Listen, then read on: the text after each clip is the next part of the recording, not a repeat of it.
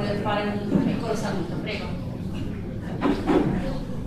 Buonasera a tutti, io farò un breve saluto, un benvenuto a tutti i oratori che siamo ansiosi di ascoltare, un grazie a Michele, a tutti i ragazzi a tutti coloro che hanno voluto eh, organizzare questa iniziativa, eh, una delle tante iniziative che in questi mesi sono state organizzate per sensibilizzare su un tema che non sarà forse mai abbastanza discusso, eh, che la, la, nostra salute, la salute del nostro ambiente quindi la salute di tutti i cittadini di questo territorio. Tutti noi siamo a conoscenza della situazione ambientale delicata che il nostro territorio vive eh, e quindi è importante innanzitutto che ne prendiamo piena coscienza, eh, che, che l'approfondiamo, mi fa piacere questa sera abbiamo delle ottime professionalità dei più vari campi che sicuramente eh, potranno illuminarci ancora di più sulle, sulle, problematiche che viviamo e che affrontiamo ogni giorno, le affrontiamo come cittadini perché le viviamo sulla nostra pelle e sulla nostra salute, le affrontiamo noi come amministrazione perché stiamo cercando di portare avanti delle, delle battaglie importanti per la tutela del nostro ambiente, eh, sicuramente la principale riguarda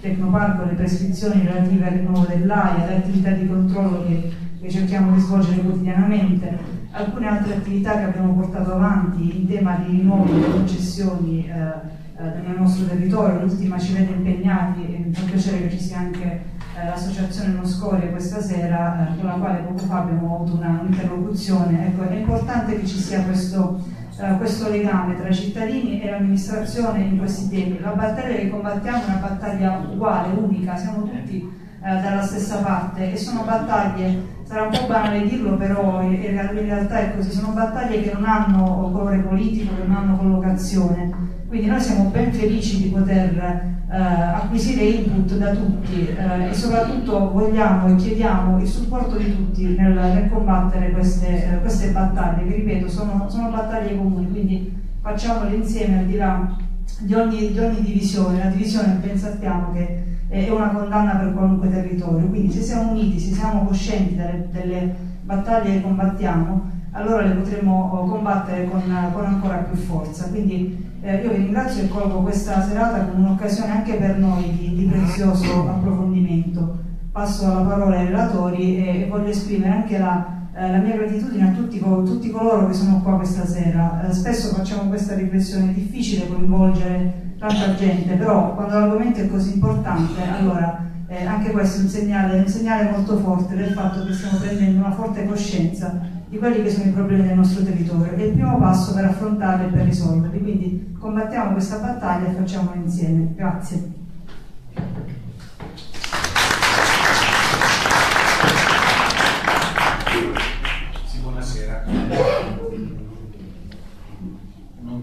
Mai nella eccessiva lunghezza dei convegni o di questi incontri pubblici perché so che il livello di attenzione poi è abbastanza limitato, per cui cercheremo di essere veloci, esaustivi e, e dire perché siamo qui e dove vogliamo arrivare. Perché può apparire curioso, il sindaco giustamente ha detto... Quanto abbiamo? Volevo andare a prendere delle cuffiette un attimo. Sentiamo il tono, Penso di, penso di sì. Scusate, stiamo collegando tutto il mondo, come ai tempi di Marconi, nell'Elettra.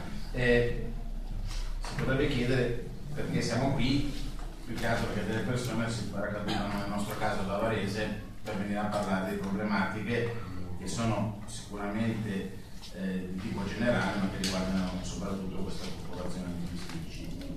E l'incipit deve essere per forza personale eh, io frequento la Basilicata da 25 anni, ho avuto il torto di innamorarmi di questa regione 25 anni fa, forse grande pregio, grande errore, questo non ho ancora capito. In 25 anni ho cercato di fare qualcosa e non ci sono mai riuscito. Devo dire che avevo ormai perso la speranza e come quegli amori non corrisposti in cui a un certo punto si dice non si va più avanti e basta, ci si mette il cuore in pace, e poi si è aperta questa opportunità e ho ritenuto ancora di crederci, grazie a delle persone che come me hanno voluto partecipare eh, a questa iniziativa. Ovviamente noi siamo il meno di questa iniziativa, nel caso nostro qua ci sono gli avvocati, io sono avvocato, eh, ci sono dei dottori, possiamo dirvi delle cose che forse già voi conoscete e conoscete meglio di noi. Che forse è nuovo di questo che stiamo facendo questa sera Anzitutto, come ha detto il sindaco, che la popolazione civile ci crede. Io ho 25 anni in Basilicata e nel corso di varie iniziative non sono mai riuscito poi a fare qualcosa di accettabile. È la prima volta che vedo tante persone e questo vuol dire che forse si arriverà a un risultato. Ma soprattutto abbiamo trovato dei compagni di viaggio di altissimo livello scientifico che vogliono partecipare con noi a questo che stiamo facendo. Ehm, perché questa sera non discutiamo stasera non discutiamo su- solo di problematiche scientifiche, ma cerchiamo anche di fare un passo avanti e di essere progettuali. Quello che per far sentire anche loro, se no non sentono nulla. Questa sera cerchiamo, questa sera cerchiamo anche di proporre qualcosa e devo dire che ciò che è stato prodromico a questo incontro è stato di estrema soddisfazione per tutti noi e soprattutto per me. Abbiamo avuto il piacere, prima di vedere voi, di avere molti dei medici di questo paese e poi il risultato di questo incontro ce lo dirà il dottore subito dopo. E devo dire che è stato del tutto sorprendente per chi come me ormai negli anni è diventato pessimista come sono pessimisti tutti i lucani per quanto li ho conosciuti e quindi aver visto quanto è accaduto prima mi è sembrato una sorta di miracolo. Siamo in una casa di Dio e devo dire che questo è l'auspicio. Può darsi che i miracoli in questi casi accadano e il genius loci aiuti sicuramente quindi questa sera vi proporremo una serie di riflessioni eh, a partire da dei cattedratici, dal professor Giordano che ci ascolta, che è uno dei massimi esperti mondiali, insomma poi il profilo scientifico lo vedremo, che hanno accettato di venire con noi e non solo di parlare questa sera, ma di accompagnarci per mano in quello che noi vorremmo fare, che vi diremo alla fine. Quindi questi sono compagni di viaggio che con spirito del tutto liberale e gratuito, anzi a proprio spese, hanno deciso di accompagnarci e prenderci per mano nella battaglia che noi vorremmo fare.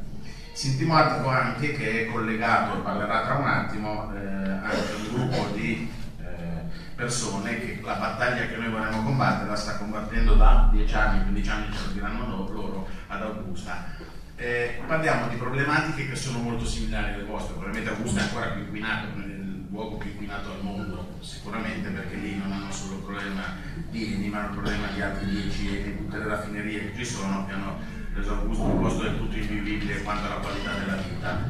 E, e sarà interessante sentire la loro esperienza perché è un'esperienza parallela, gemella, da una parte per il rapporto che c'è tra noi che siamo qua seduti e le persone che stanno ad Augusta e dall'altra perché anche lì c'è un sacerdote battagliero come il nostro Michele, c'è Don Palmiro che è un omologo che poi ci parlerà della sua esperienza e vedrete quante, eh, quante cose comuni avremo con loro e quante cose dovremo eh, condividere. Quindi io spero che all'esito di quello che diremo questa sera nasca in tutti voi la voglia di eh, combattere, perché esiste un momento nella vita in cui bisogna avere la coscienza civile di fare qualcosa e lo dovete fare prima di voi, prima di noi. C'è il professore da Filadelfia, quello da Oxford, eh, sono il signore Augusta, abbiamo tutto il mondo, prima c'era un illustrissimo cattedratico di Roma che abbiamo ritenuto di non disturbare nuovamente perché ha fatto una lunga prolusione. Però se non nasce da voi il germe di quello che vogliamo fare, tutto quello che ci diremo stasera non serve a niente e abbiamo perso tutti del tempo. Quindi spero che le riflessioni che faremo aiutino voi a intraprendere questo cammino e personalmente aiutino me a vincere questi 25 anni di Basilicata, questo male che mi sono sempre portato dietro. Io spero come San Paolo di dire alla fine di questa vicenda che ho combattuto la mia buona battaglia, buon certano incertare, giusto padre, fidem servabi. Spero alla fine di tutta questa battaglia di poter portare la mia barca in porto e chiudere questo demone della Lucania che mi ha vinto, che mi ha in qualche maniera condizionato nei miei 25 anni di vita. Eh, abbiamo detto niente chiacchiere e quindi io partirei se voglia da Don Michele perché dal padrone di casa si parte e poi da Don Michele passeremo al suo collega, si dice, si può dire tra sacerdoti, il suo collega De Augusta che ci dirà che un altro battagliero come lei, qua abbiamo due veri sacerdoti in confine che ci spiegheranno qualcosa. Don Palmista, a lei.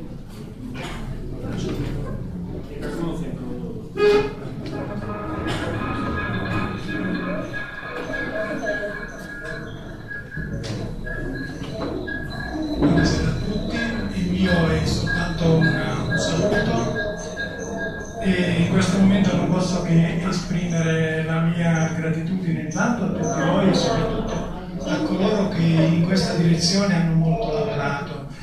Io questa sera sono particolarmente contento per un motivo, perché nel passato alcune battaglie, noi abbiamo cominciato vent'anni fa abbiamo cominciato con le grandi battaglie, voi ricorderete sicuramente la storia della centrale e, e quindi abbiamo cominciato con un ruolo quasi di chiesa protagonista, di preti eh, quasi in prima linea.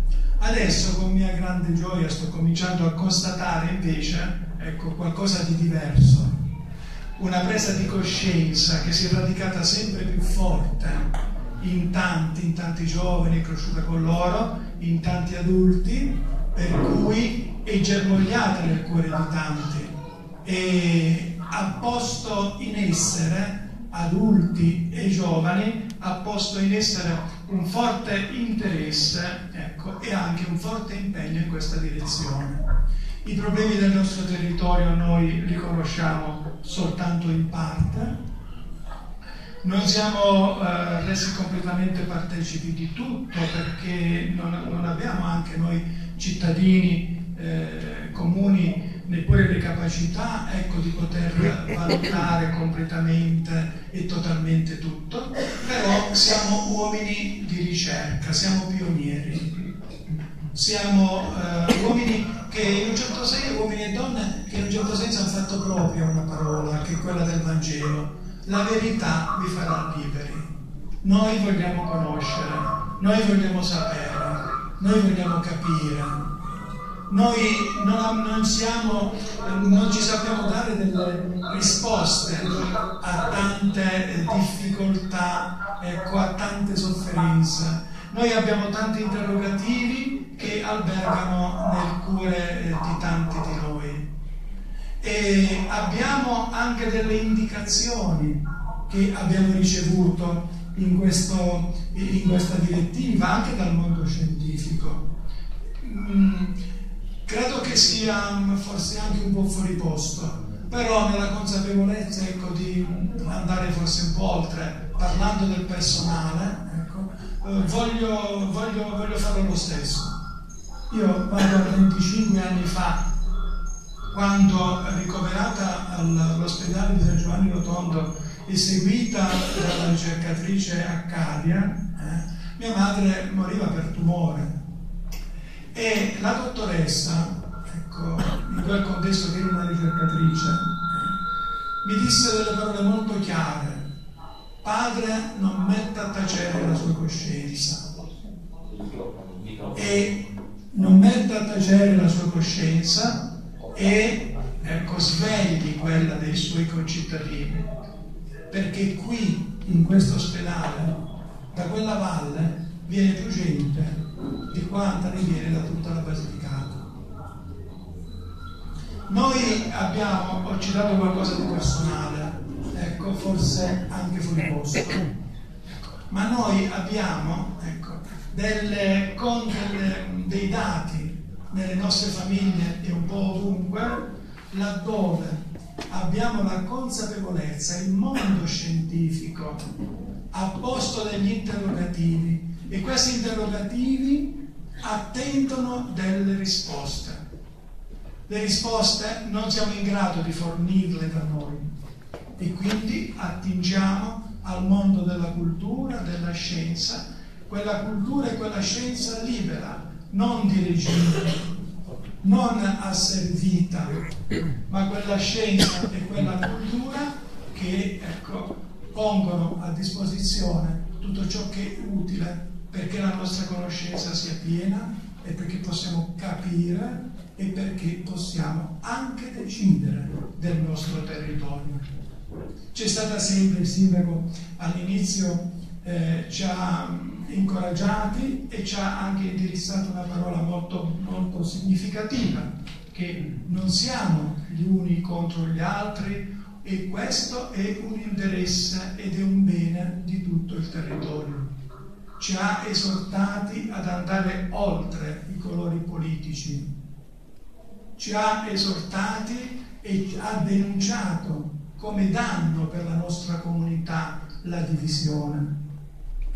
E queste parole, ecco, che partono dal nostro primo cittadino, sono parole che devono incoraggiare coloro che magari hanno deciso di asservirsi ad alcuni al danno del bene comune. Io mi fermo ecco, con questo, questo mio intervento.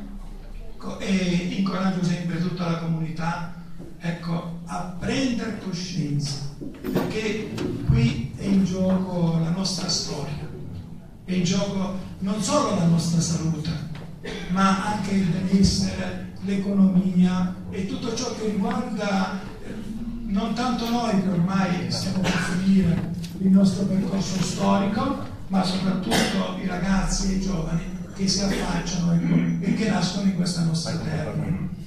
E allora io non mi fermerò, questa volta non c'è stato molto bisogno di sollecitare, anzi devo dire che per alcuni aspetti sono stato anche un po' frenante, frenante perché si potessero insomma, ecco, eh, fare sempre scelte ancora sempre un po' più, più oculate e mai sempre più di cervello ecco, e meno di pancia, come si suol dire. Ecco.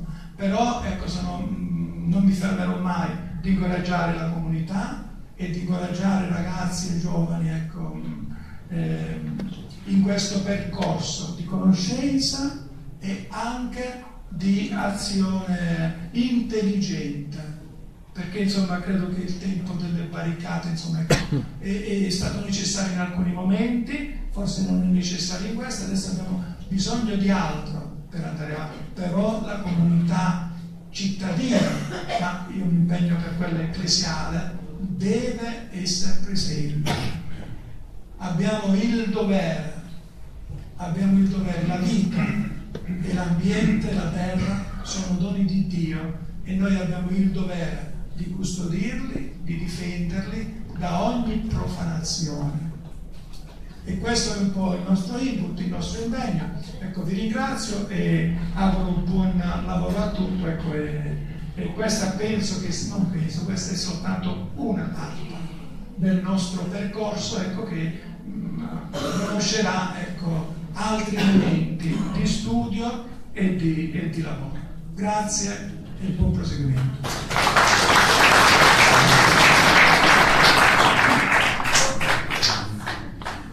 Passerei per continuità quindi la parola a Don Palmiro Presutto da Augusta. Prego.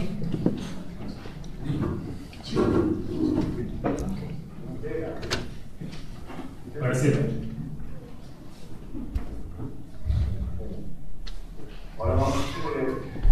Ci sentite. Sì, sì, sentiamo. Mi sento? Sì. Bene.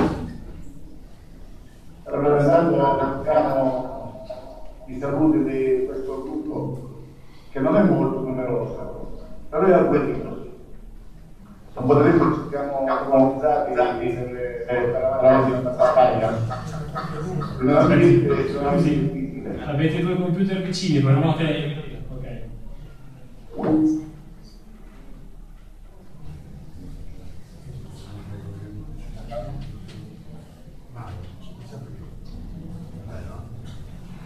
Non molto in questo momento.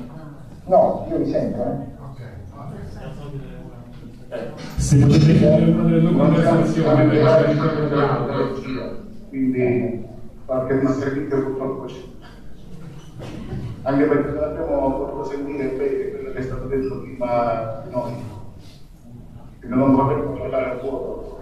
Forse sarebbe opportuno magari rispondere alle vostre domande.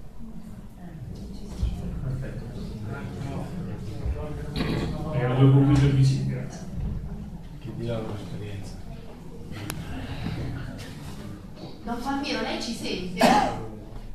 Sì, ci Allora, se magari può ehm, raccontarci quello che eh, avete fatto fino ad oggi ad Augusta, anche con la collaborazione della- dell'avvocato Nanè e magari i problemi che vi siete trovati ad affrontare piuttosto che la vostra- il vostro impegno e la battaglia nei confronti anche delle istituzioni. quindi non è che sia facile prescindere in pochi minuti quello che è stato fatto fino ad ora. Personalmente sono oltre 30 anni che mi occupo di questo problema. Come, come diceva mi ha preceduto, il problema di miglioramento è un problema morale. Anche me è stata questa accusa, perché deve essere che fossero materiali, che non fossero spirituali. E io credo che l'inquinamento dell'ambiente della casistica il quinto comandamento, vale a dire è una causa di morte, così come la guerra, la ripresa, la droga, eccetera.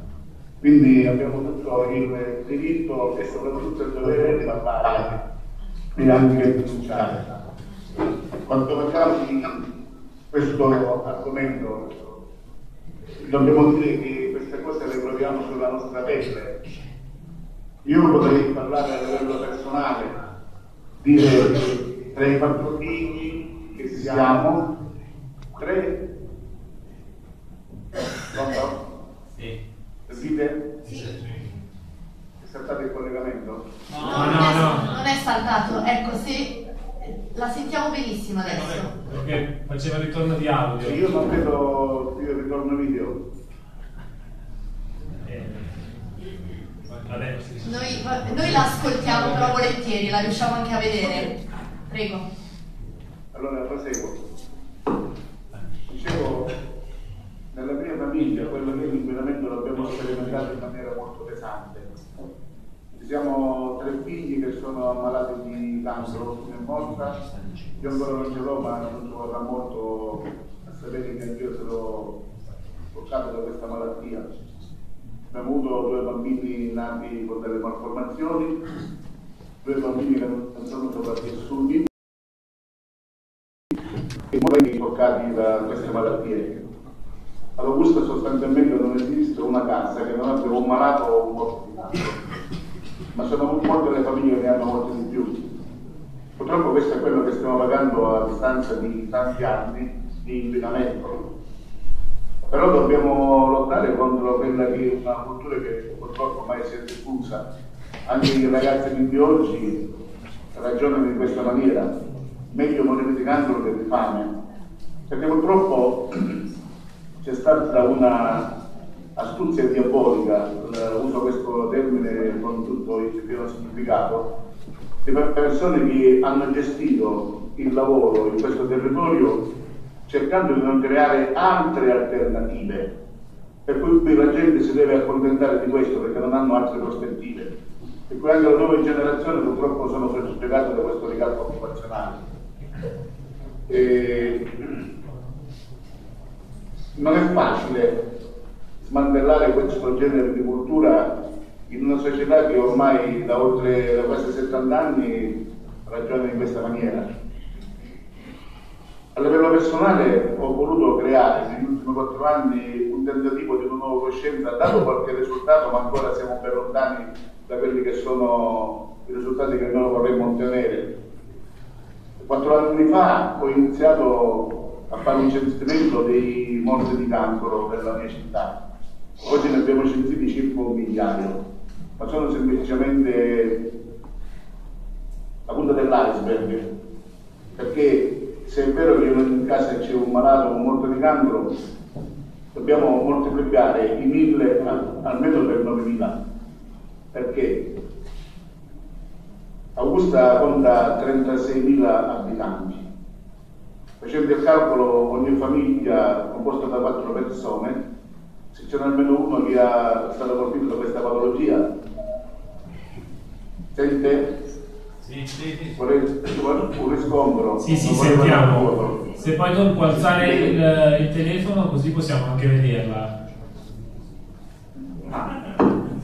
Così? Perfetto, grazie.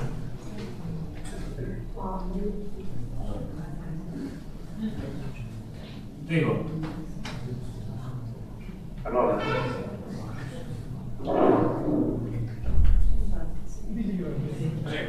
bene, riprendo allora il collegamento, dicevo che calcolando in media 4 persone per ogni famiglia, se in ogni famiglia c'è almeno un lato di cancro, allora abbiamo circa 9.000 probabili vittime. Ne abbiamo sentito, abbiamo detto soltanto un migliaio, ma non è soltanto il problema del cancro qui alla Augusta, perché ci sono tante altre patologie che sono correlate sicuramente all'inquinamento. Ovviamente non tutte queste vittime sono dovute all'inquinamento, ma certamente l'inquinamento fa la sua parte preponderante. Per esempio, parliamo degli aborti. A partire dall'anno 1984 il numero degli aborti si è incredibilmente moltiplicato. Praticamente una gravidanza su due è stata interrotta. E questo è sicuramente un dato molto molto pesante.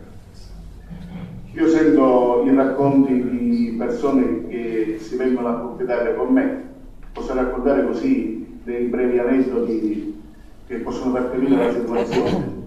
L'altro giorno nella centralissima piazza Duomo di Augusta ho visto un mio amico, nonno, con un bambino. Ho cercato di parlare con questo bambino, ma il nonno mi ha detto padre è inutile che mi parla perché il bambino non corrisponde il bambino è nato autistico. Ogni mese lo portiamo per 30 giorni a mese alterni in un centro specializzato in Sicilia. Ma mi diceva questo amico che nel centro dove vengono trattati questi bambini, il 90% dei bambini recuperati vengono dalla di Augusta. E questo è quello che mi fa pensare insegnano dove il numero dei portatori di handicap è estremamente elevato e quindi eh, questo ci fa capire molto bene in quali condizioni viviamo. Ci sono molte strade di stazionamento riservate ai disabili, anche lì, altro grosso problema. Una delle cose che mi ha sorpreso, venuta da me una operatrice che lavora nell'ambito sanitario mi ha fatto questa confidenza. Padre, lei giustamente denuncia queste morti del tumore, ma guardi che qui ci sono anche altre malattie, sicuramente correlate all'inquinamento. E mi diceva di una persona di famiglia che aveva delle turbe mentali.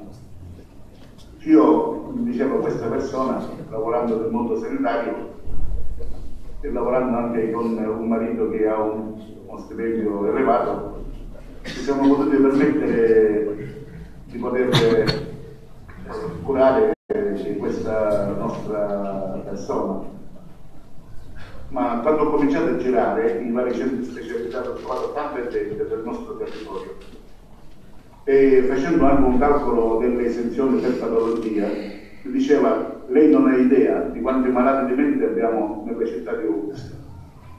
Se io lo rivelo, lei non mi crederà. Ho chiesto, e quanti sarebbero? Semplicemente in base all'esenzione per patologia sono più di mille. Ma vengono tenute nascoste come se fosse un motivo di cui vergognarsi. Io ritengo che si dovrebbero vergognare quelli che hanno creato questa situazione, non le vittime. Purtroppo questa è la situazione.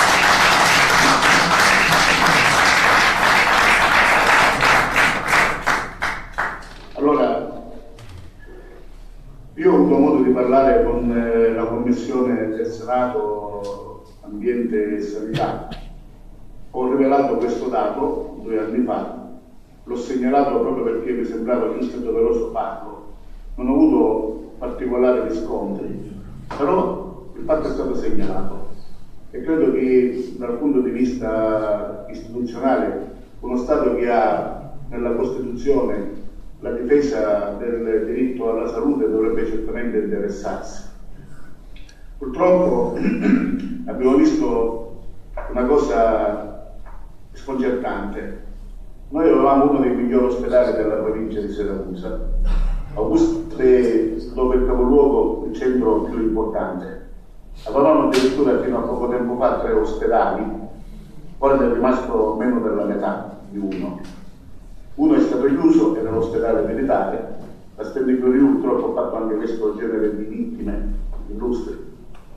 Un centro di riabilitazione di traumatologia si è trasferito da poco in una struttura diversa da quella di Augusta e quello abbiamo pensato anche questo. Ma quello che ci ha fatto veramente preoccupare è il rimaneggiamento dell'ospedale di Augusta un ospedale che si trova in una zona a rischio. Quando si parla di rischio ad Augusta non dobbiamo pensare semplicemente alla presenza del polo petrolchimico, dobbiamo pensare anche a una base militare, una della Marina Italiana e l'altra addirittura della Nato. Recentemente abbiamo anche delle esercitazioni con dato dei sovvertimenti nucleari, quindi i rischi sono tanti. Rischio militare, rischio chimico, c'è anche il rischio sismico, che siamo una delle zone più sismiche d'Europa, anche se questa è una cosa che tanti non vogliono ammettere, proprio perché è assurdo che una zona sismica del mercato potesse sorgere un polo chimico di quelle dimensioni sono circa 20 km di rotte di costa che sono stati colonizzati dai signori del petrolio. Se poi parliamo anche di quello che è stato il danno all'ambiente, e qui abbiamo tutti i tipi di danno possibile e immaginabile. L'inquinamento dell'aria è quello, tutto sommato, direi forse meno evidente perché non si vede ma si sente con eh, le narici ma ci sono le tante discariche, c'è una discarica sommersa dentro il porto di Augusta e anche fuori del porto, tanto per dare anche delle cifre che possono fare capire qual è la situazione. Il Ministero dell'Ambiente tempo fa ha fatto i calotaggi all'interno della rata di Augusta. Hanno calcolato la presenza di 18 milioni di metri cubi di mani tossici. Ma mi diceva un giornalista che nel passato ha lavorato con una delle imprese che lavoravano nella zona. Quando negli anni 70 ci fu la guerra del Tribune per le chiuse il canale di Suez e venne dragato il porto di Augusta per accogliere le suddette petroliere, perché le navi dovevano fare il giro dell'Africa. Quindi diceva abbiamo dragato i portali per portarlo a 22 metri e tutto quello che abbiamo preso dal porto l'abbiamo buttato fuori del porto. Una, è stato quantificato approssimativamente questo, questo, diciamo, questi fanghi dovrebbero essere tra i 65 milioni e i 45 milioni di metri.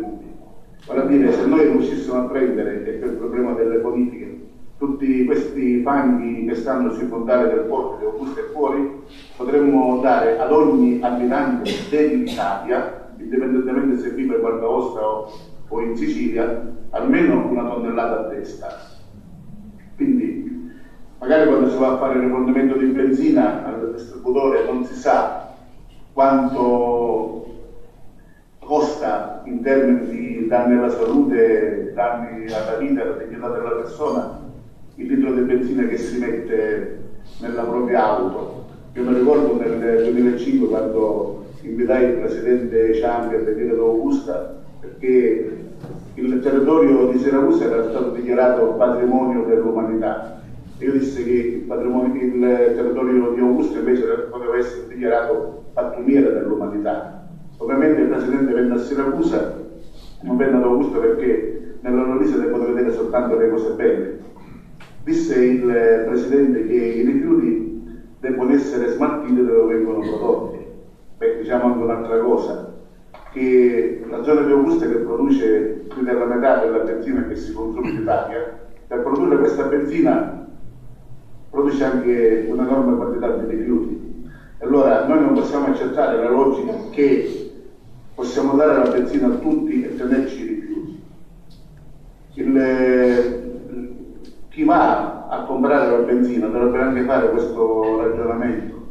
Se io compro un litro di benzina dovrei anche smaltire quella quantità di rifiuti che è stata diciamo, prodotta per eh, fare questo litro di benzina. Noi praticamente abbiamo la parte più terribile della produzione, quella più schifosa, quella più dannosa, mentre altri si godono i frutti puliti. Non vogliamo fare polemica, ma purtroppo le tante malattie, le morti per il cancro che abbiamo ci fanno capire che questa è una zona che è stata sacrificata a, a sporchi interessi. Ricordo che qualche, stato l'anno scorso, una, una notte memorabile, era il 14 dicembre, abbiamo fatto un blitz a Catania dove stavano portando il polverino dell'Ilva, poi veniva trasportato di notte in una discarica della zona Augusta Priolo dei Liti. Di questo traffico di rifiuti non si sapeva nulla, noi l'abbiamo saputo per caso, abbiamo bloccato uno dei camion e abbiamo visto anche il modo come lo trasportavano. L'indomani mattina, quando le foto delle mie mani con il polverino hanno fatto il giro dei telegiornali, finalmente il Ministero si è mosso. Questo traffico è stato bloccato. Diversamente, durante la notte ci sarebbe stato questo vivaio di camion che, senza essere visti dalla popolazione residente, avrebbero scaricato eh, migliaia e migliaia di tonnellate di questo polverino. Il Ministro diceva che non era pericoloso, ma io chiedo, ma se non era pericoloso perché devono cercare una discarica così lontana dal punto di produzione? Ecco, sono cose che veramente mi hanno fatto sempre pensare. Quando ho cominciato a coscientizzare la gente, mi riferisco in modo particolare ai miei ragazzi a scuola, ma anche alle persone che vengono in parrocchia, che vengono da Augusta, l'ho fatto con una idea che sicuramente ha fatto molto effetto. Ho cominciato a fare il censimento dei morti per cancro che avevo del cancro.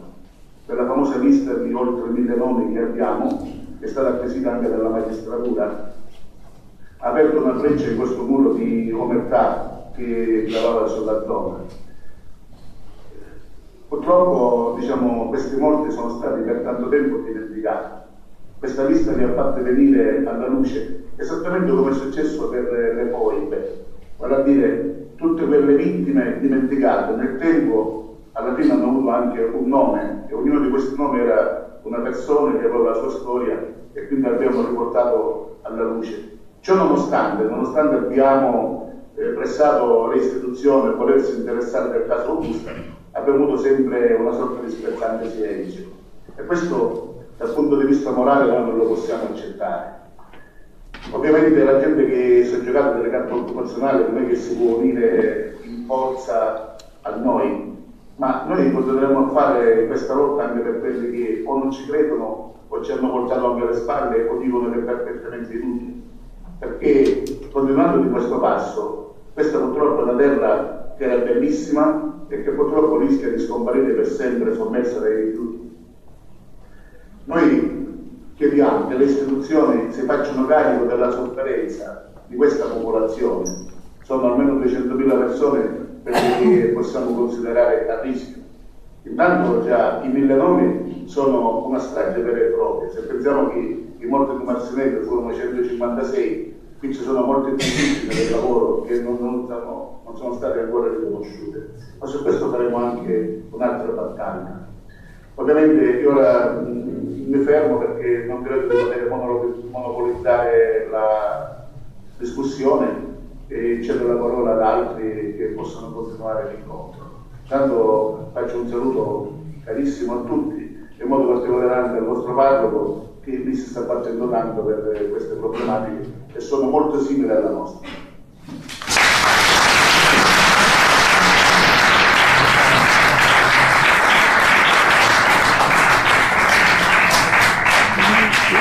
Grazie, grazie Don Palmiro. Adesso cediamo la parola al professor Giordano che è in collegamento da Filadelfia e anche lui ci racconterà la sua esperienza sia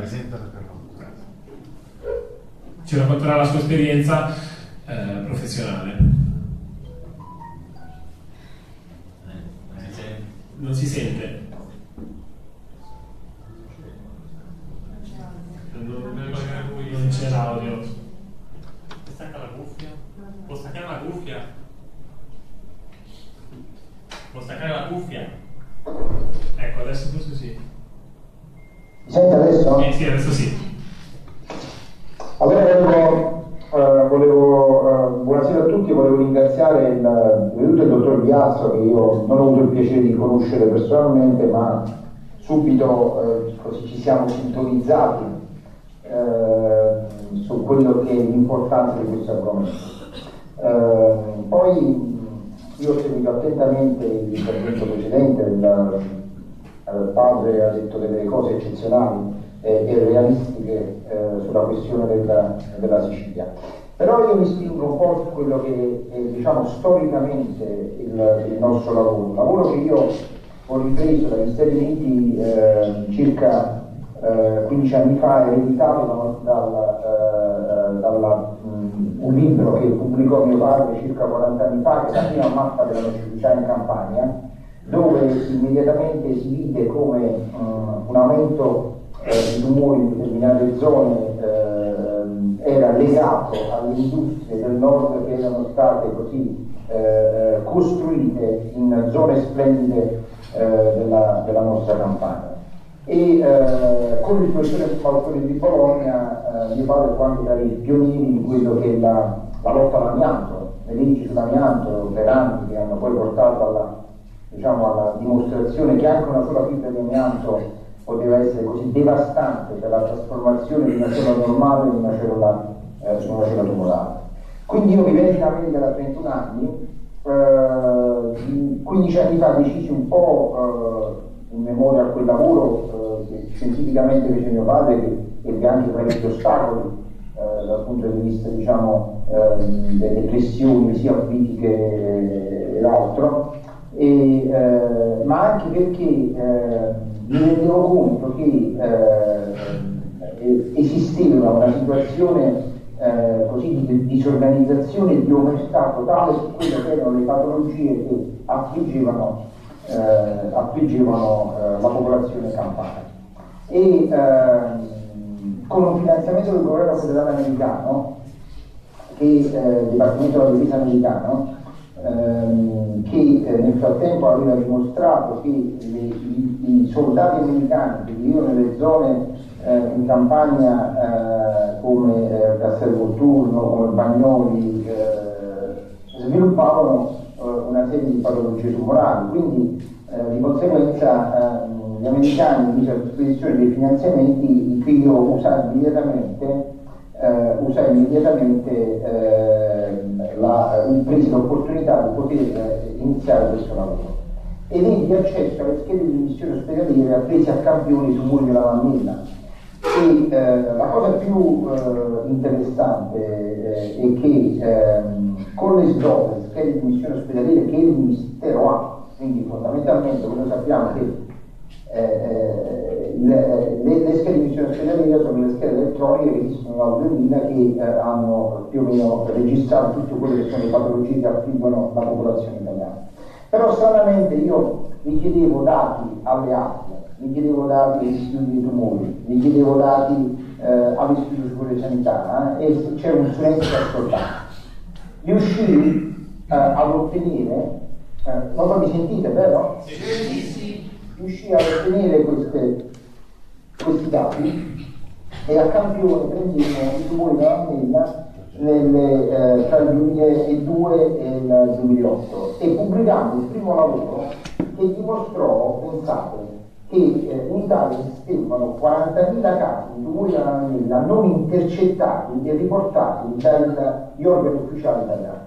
Cioè che significa? Che le ASL, Istituto Superiore Sanità, istituti di ricerca a carattere scientifico. Cioè i colleghi, che mi costa molto chiamare colleghi, che venivano finanziati e che realmente eh, eh, avrebbero dovuto svolgere questo lavoro, e non ma non l'hanno svolto per tante ragioni, perché voi sapete che in Italia purtroppo la politica finanzia la cultura. E voi sapete che quando la cultura non è indipendente, e io parlo non solo di cultura che può essere letteraria, eh, umanistica, eh, ma la funzione generale anche quella scientifica, perché la scienza deve avere una sua indipendenza, che poi eh, possono esserci delle realtà e delle, la scienza deve dimostrare e deve svolgere un proprio lavoro di ricerca di sviluppo per alla fine avere una ricaduta per beneficiare quello dei cittadini. Ma la cosa più interessante era questa, che di questi eh, 40.000 eh, casi un 14% erano donne sotto i 40 anni e donne tra i eh, 20 e i 25 anni. Pensate, questa è l'età pre-screening, cioè voi sapete che per fare una mammografia a 45 anni lo Stato si rimborsa? E quella parte, quella percentuale di tumori non veniva intercettata. È chiaro che questo un po' un cavallo di Troia, una devastante questa, eh, questa informazione pubblicando delle eh, eh, riviste scientifiche, però io attuai in un tipo di comunicazione differente. Iniziare a comunicare e a educare le popolazioni della terra dei fuochi, del triangolo della morte, la Campania, Benevento, tutte quelle zone, Caserta, Napoli, e, e poi anche in compagnia, in, grazie all'aiuto della Chiesa eh, determinante, quindi degli attivisti e della, della popolazione, eh, eh, riuscimmo finalmente ad educare e a far capire ai cittadini eh, quello che loro vivevano sulla propria pelle, l'avete sentito Presidente? Cioè è assurdo che padre, scusi padre, io non sono riuscito a capire il suo nome, eh, della... Don Michele. Palmiro, Palmiro, cioè, Don Michele e Don Palmiro. Cioè è assurdo che il Palmiro si deve mettere a raccogliere eh, i risultati delle mortalità di tumori, va bene? E che non lo facciano, che non lo facciano eh, eh, quei professionisti medici lautamente finanziati e pagati dalla potenza, lautamente. Questo che significa? Significa che ehm, quando io iniziai a educare eh, padre Patriciello, in particolare della, eh, di Caivano, quindi anche eh, gran parte del, del, del, del, eh, degli attivisti eh, che erano presenti nella zona, è esploso il così grande fenomeno a livello mediatico di quella della, della terra dei fuochi.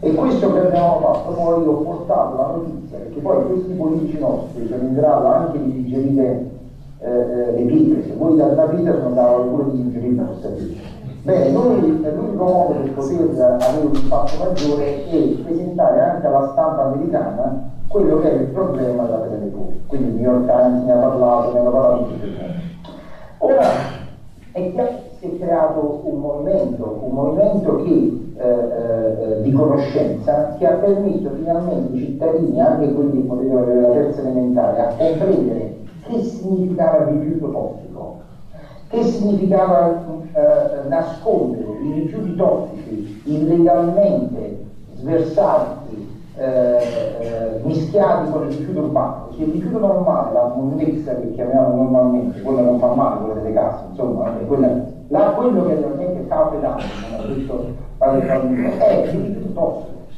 E allora la cosa grave qual è? Che le industrie del nord, le industrie del nord, andando, quindi gli imprenditori, andando al braccetto con una certa politica e con la perché attenzione, la camorra, perché che succede? Quando venivano scoperti danno sempre la colpa alla camorra, ma schiavoni pentiti, come ultimamente avete letto all'inchiesta di fanpage, eh, dicevano eh, ma guardate noi se non avessimo i nostri uomini eh, nei comuni, eh, nei vostri uomini nel governo, eh, noi saremmo dei semplici killer, va bene? ma siccome abbiamo capito che la monnezza è oro, il rifiuto tossico è oro, eh, è chiaro che eh, siamo stati diciamo, il braccio armato di una certa politica e di una certa eh,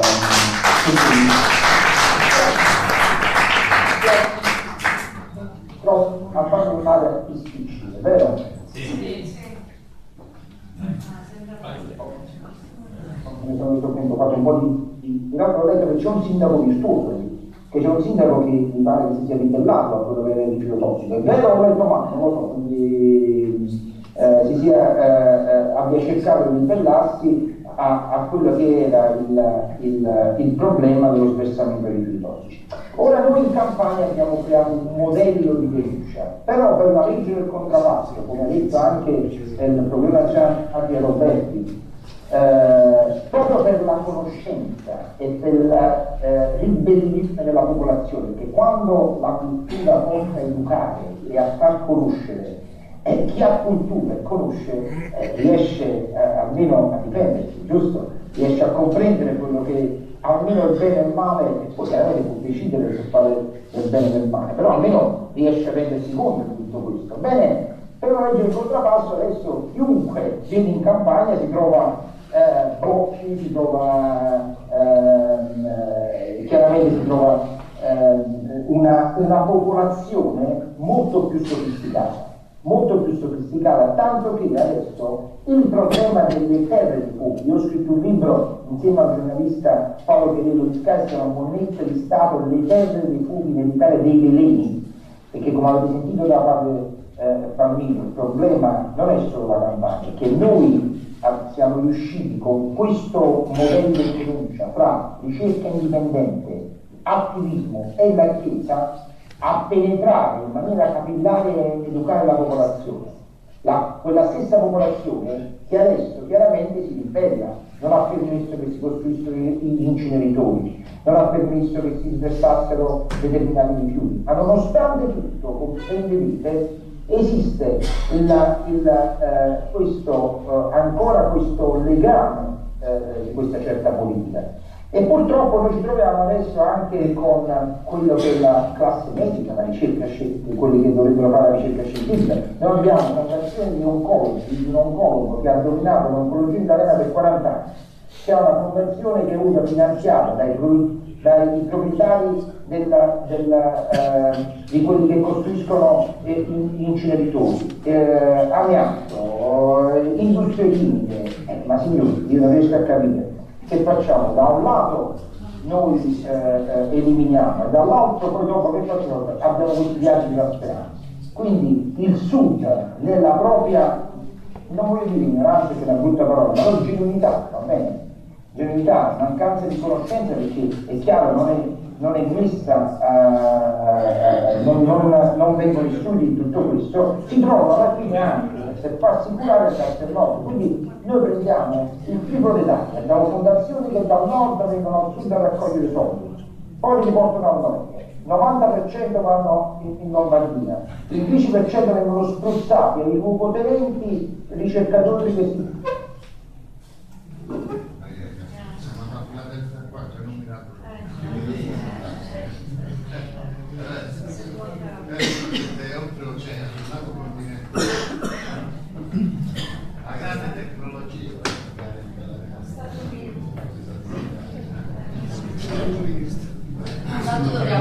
ringraziare il eh, professor Giordano perché tra l'altro è appena sbarcato dall'aereo, quindi ci ha fatto una cortesia.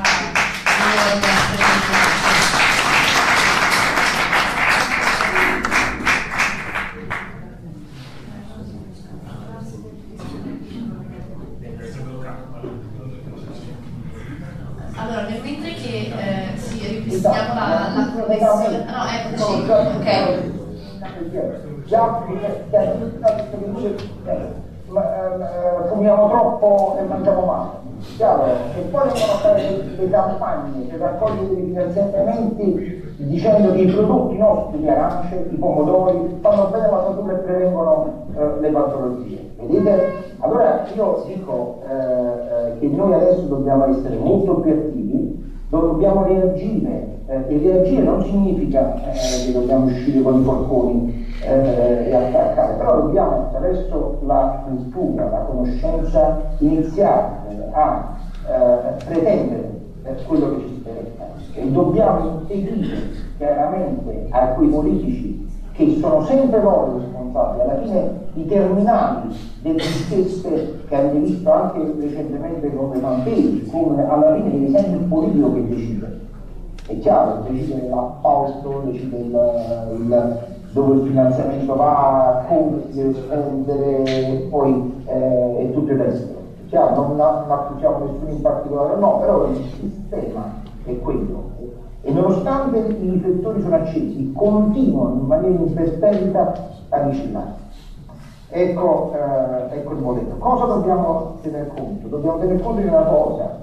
Eh, eh, ricordatevi che nei nostri terreni, nella nostra acqua, nella nostra aria, nelle nostre terre esistono sostanze eh, eh, come amianto, cloro di luce, benzopirene, diossina, metalli, eh, metalli pesanti, per citarne alcuni sono alcune di queste sostanze messe a contatto con qualunque forma di vita la trasforma. Io parlo come vita, poi c'è le lui, ma questi, tutti quelli che hanno un DNA, una genetica, trasforma, la cambia. Cambia anche le proprietà, che, la, che le patologie non, vengono, non siano uh, immediatamente manifeste. Chiaro? E poi dobbiamo iniziare a pretendere eh, chiaramente eh, eh, quali sono i metodi, perché sai, ormai dobbiamo essere a conoscenza di questo, lo sappiamo che il danno avviene, lo sappiamo che eh, eh, eh, le nostre terre sono stuprate da questi delinquenti, va bene? E non vi fate ingannare solamente da mafia, camorra, drangheta. Ricordate, lo Stato quando vuole combattere, distruggere, eliminare camorra, mafia e ci riesce, va bene? Quando vengono toccati loro.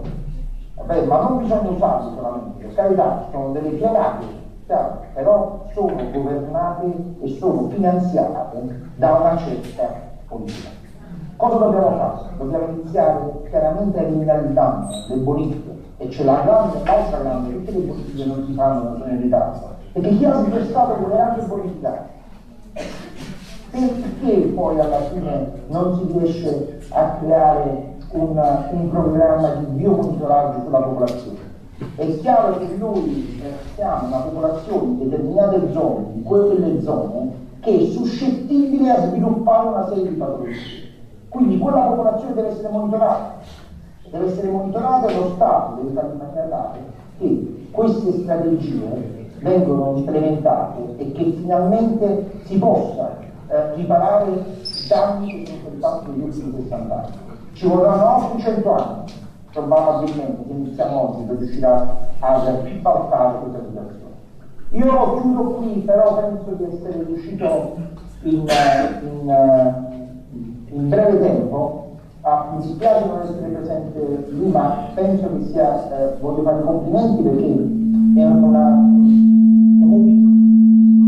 Noi stiamo collegando anche il Veneto e con la Lombardia, eh, dove anche loro eh, inizialmente e anche involontariamente eh, attraverso i loro industriali sono stati responsabili di tutto questo, no? adesso si trovano anche loro in una situazione eh, di difficoltà, gli sversamenti avvengono anche in quelle zone, Lombardia, Veneto, Toscana, eh, eh, Friuli Venezia Giulia, eh, sono delle zone altamente adesso a rischio e sono sono delle zone dove c'è un aumento di patologie e ci sono delle discariche illegali, perché eh, quella reazione che abbiamo avuto noi per la legge del contrappasto sta iniziando a creare delle problematiche anche eh, nelle zone dove è stato svolto, dove è stato, da dove è nato il, eh, il problema. Allora saluto a tutti, se ci sono domande comunque volentieri posso rimanere ancora un po' in linea.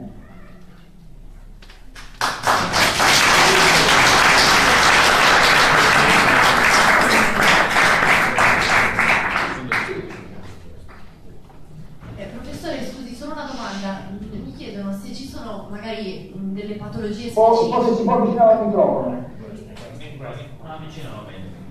Se ci sono delle patologie, mi sente?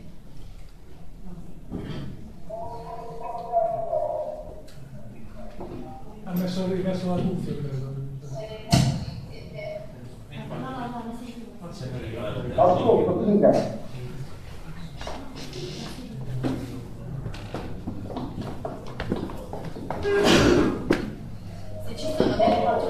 Specifiche che possono ehm, essere connesse ovviamente alla, al territorio eh, di interesse. specifiche che possono ehm, essere connesse ovviamente al territorio. Ma proprio subito patologie specifiche, cerco di dire la domanda non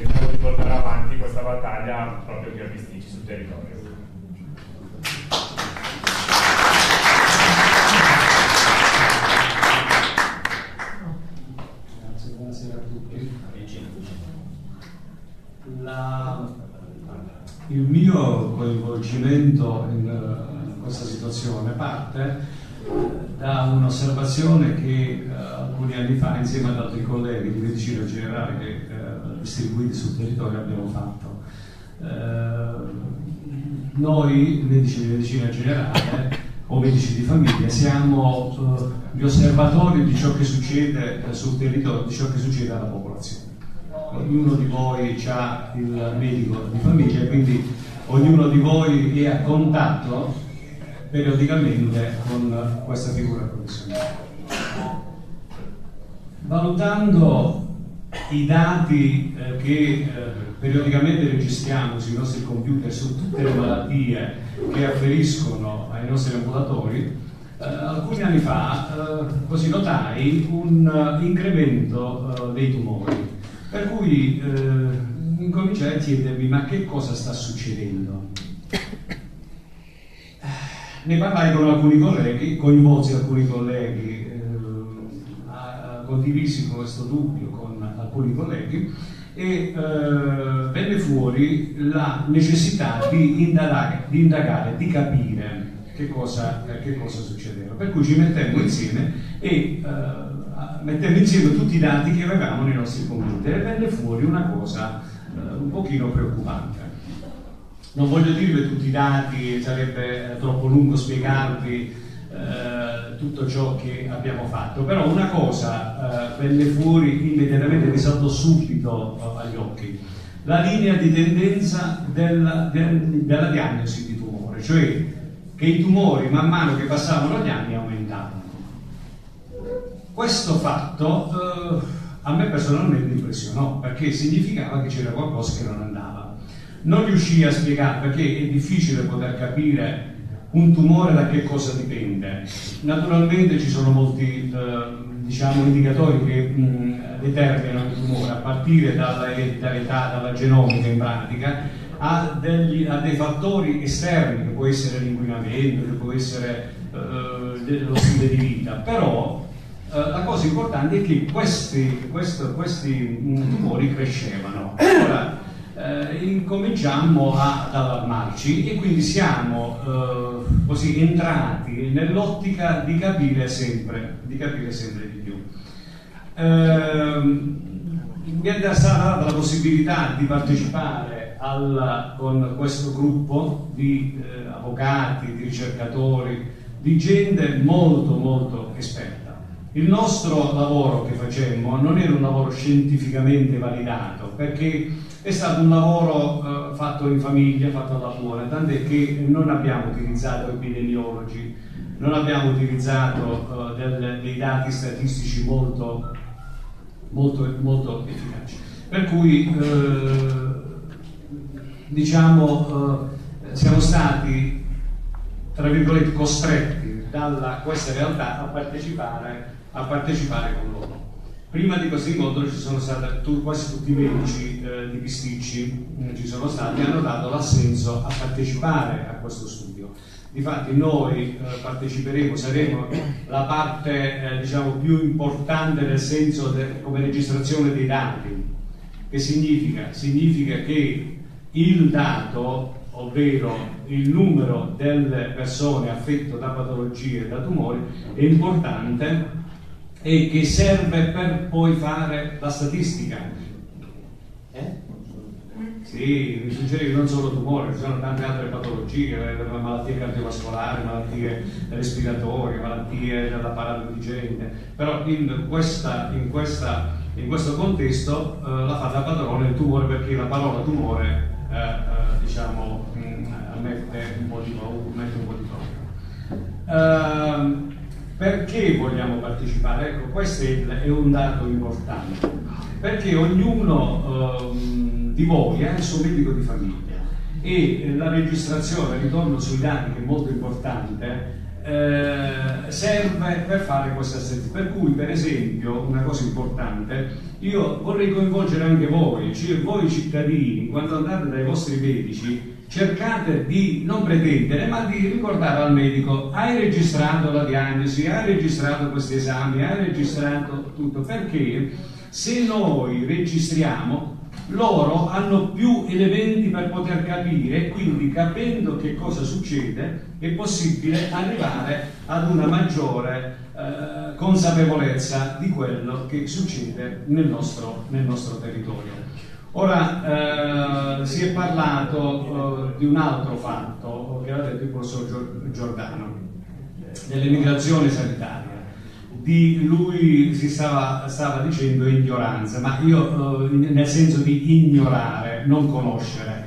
Però io eh, vorrei sottolineare un dato, un dato molto importante. Nelle nostre strutture purtroppo, purtroppo non, non, ci sono quegli elementi che portano ad una diagnosi. Molti fanno i viaggi della speranza perché? Perché trovano altrove elementi che non troviamo nelle nostre, nelle, nostre zone. Per cui e questo è un dato molto importante.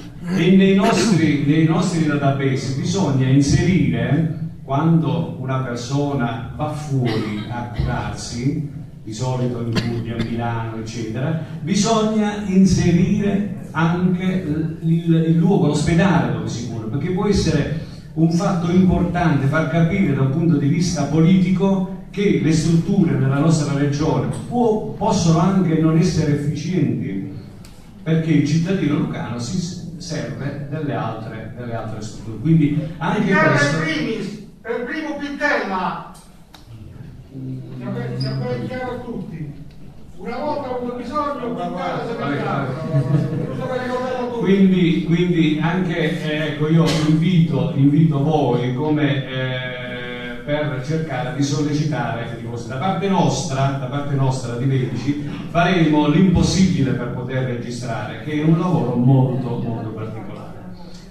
Ecco, io mh, mm, così ho finito, eh, se ci sono delle domande siamo a disposizione, sono abbastanza.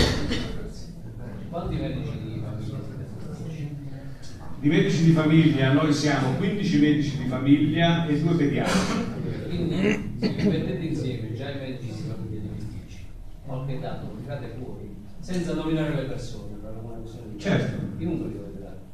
Anche se Pisticci c'è 18.000 abitanti, quindi non, la privacy non va inaccata. Tutti i cittadini di Pisticci hanno il proprio medico di famiglia, quindi l'anagrafica del comune ci dice quanti, quanti, eh, quanti è la popolazione distribuita per tutti. Quindi l'analisi che fece Trani all'epoca sul suo studio, cioè, L'analisi? che fece il vecchio sindaco di Trani, medico, sul Pisticci, che su 153 decessi 100 erano di tumore su Pisticci. No, ehm, l'analisi che abbiamo fatto noi, l'analisi che abbiamo fatto noi è un'analisi molto più particolareggiata, più particolareggiata, per cui in questo momento penso che non è il caso di poterla, non è questo il motivo della... Comunque è stato fatto un congresso a cosa, un incontro a Marcoria tempo fa e eh, ci sono, ci- no, l'ho dimostrato tutti i dati, anche, anche il sindaco era presente, allora non era sindaco, era presente. in altri comuni, si chiama indagine epidemiologica volontaria. L'ha fatto il comune di San Marco, no, San Marco Milano, vicino a Brindisi, Cammino dei Normanni, dove tutti i cittadini hanno costituito una banca dati volontaria, nel senso che hanno fornito dei dati e c'era l'ARC che ha- tenutario della parte. Sì, chiedo scusa, ehm, fare, fare l'indagine epidemiologica noi l'abbiamo fatta, no? però non, ehm, non è validata dal punto di vista scientifico, cioè non è un'indagine dove eh, ecco, l'epidemiologo, l'avvocato può fare la voce grossa. Noi abbiamo fatto un'indagine tra virgolette familiare, nel senso che abbiamo fotografato la, la- la- la situazione di Pisticci, poi non eravamo tutti medici, eravamo sei medici che hanno portato, che hanno eh, diciamo, partecipato volontariamente a questo tipo di studio. Però diciamo, eh, io penso che quello deve, deve essere la base per un punto di partenza. Stiamo partecipando a uno studio epidemiologico sulla, su- sulla popolazione di bisticci scalo, quindi sarà un vostro lavoro per noi stato un input prezioso perché verrà portato avanti attraverso Sì. un progetto Epipas, poi magari l'assessore lo spiega in maniera Sì, eh, Pisticci per esempio, ecco una cosa, eh, Pisticci ha un territorio molto grande, d'accordo? E eh, anche eh, con diverse problematiche. Vi faccio un esempio pratico. Pisticci Scalo ha le sue problematiche. Casinello non ha le problematiche di Pisticci Scalo, d'accordo? Quindi c'è questa, questa diversità. Allora è importante che nell'indagine epidemiologica come indicatori venga messo per esempio la residenza dove vive. Un altro indicatore è eh, oggi un pensionato a 65 anni, 67 anni è pensionato, ecco vi faccio un esempio, scusate se entro un po' nel particolare, ma un esempio pratico, una, una persona di, di 70 anni l'altro giorno è venuta da me, a- a- abbiamo fatto una radiografia e aveva un tumore al polmone, va bene? Allora, questo qua va analizzato che cosa? Va analizzato dove vive, va analizzato che cosa ha fatto in passato, perché se adesso è pensionato, se in passato ha lavorato con l'amianto, ha lavorato in zone e, e dove ha lavorato, perché se ha lavorato a Pisticciscano oppure ha lavorato alla Ferro Sud dove utilizzavano l'amianto, il discorso, il discorso cambia. Bisogna vedere per esempio se in famiglia ci sono persone che hanno avuto dei tumori, quindi bisogna calcolare anche la genomica, del- la genomica dei, dei- dei tumori. Con le cause effetto poi. Comunque unita allo SDIA eh, la, la cappella chimica, più le sensazioni di che già l'analisi comunque Sì, sì, prego. Eh, sì, ok. Il problema è che per fare un tipo di, eh, di lavoro come dobbiamo impostare qui a Pisticci, lo no, spiego, eh, bisogna fare, eh, è un'impresa difficile, lo dico chiaro e tondo, perché i dati che abbiamo adesso sono, i dati ospedalieri non ci servono a niente, assolutamente a niente. I dati che dobbiamo avere devono essere dati mh, abbastanza validi nel complesso della popolazione. Cioè, infatti il lavoro che abbiamo, il- l'incontro che abbiamo avuto due ore fa, un'ora fa con i medici di base era perché ho spiegato anche a lui che non devono essere 5 medici di base su 16 o 7 su 16, ma devono essere tutti i medici di base. E quindi stimola la popolazione a, a spingere i medici di base a fare questo lavoro, perché se noi riusciamo a riavere dei dati validi, validi, noi possiamo fare un lavoro, come ha detto giustamente, di causa-effetto, perché se no non riusciamo a fare. Cioè il lavoro che bisogna fare in questo momento è un lavoro da capo, cioè nel senso partire solo da Pisticci, non Basilicata, partire da qui e cominciare a fare prima di tutto quali sono gli agenti inquinanti, quindi rifare una valutazione tossicologica, una valutazione generale. Dopodiché, mentre loro fanno questo lavoro, che è un lavoro difficile, sicuramente difficile perché bisogna valutare la, il lavoro, la posizione, dove abitano, tutto il resto, a quel punto i dati verranno presi, convogliati non più qui, ma verranno convogliati a Roma, all'Università a Roma, che abbiamo noi i contatti, perché io lavoro per Pavia, ma abbiamo i contatti anche con l'Università di Roma, perché ho appena parlato con loro il professor Messineo, che è uno dei massimi igiene, specialisti in igiene, anch'io sono specialista in igiene medicina preventiva. Comunque lui è un professore e cerchiamo in questo modo di trovare la, la, questa, questo, questo nesso, perché se no con quello che è stato fatto finora qui, dispiace, forse qualcuno si offenderà, non so se c'è qualcuno che ha partecipato a questa valutazione, a questa raccolta dati, finora qui è stato fatto nulla di effettivamente valido dal punto di vista scientifico. Poi se qualcuno si offende non ci sono problemi. Il problema è che bisogna partire da capo, bisogna fare il lavoro da capo però se non c'è la popolazione che partecipa attivamente, ma attivamente e i medici di base, noi non possiamo fare assolutamente niente. Perché un qualsiasi eh, in, inchiesta, una qualsiasi impostazione, se c'è una piccola palla, come dico io, qualsiasi nei nostri dati, viene sicuramente archiviata, sicurissimamente archiviata. Okay? Quindi quello che chiedo è questo, questo, questo aiuto di tutti. Questa collaborazione. Eh, io eh, prima ho parlato della vostra collaborazione che è molto importante, forse ecco, eh, eh non so se eh, riesco a darvi questo messaggio. Se voi, eh, non dico pretendete, ma sollecitate il collega medico a registrare i dati, sono molti, perché su quelli si lavora. Vi faccio, vi faccio un esempio. No, sui dati, cioè... Se io vengo da lei e le dico di prescrivere un'analisi del sangue, No, no, no, chiedo scusa, vi dico, vi dico che cosa serve, non, serve, non, non l'analisi così, l'analisi così, cioè... No, no, no, no, no, no, no, chiedo scusa, non è questo. No, no, non è questo. Non entriamo, non entriamo sulle nostre difficoltà burocratiche che non c'entrano. Io eh, i, i dati da registrare. come possiamo partecipare? Ve,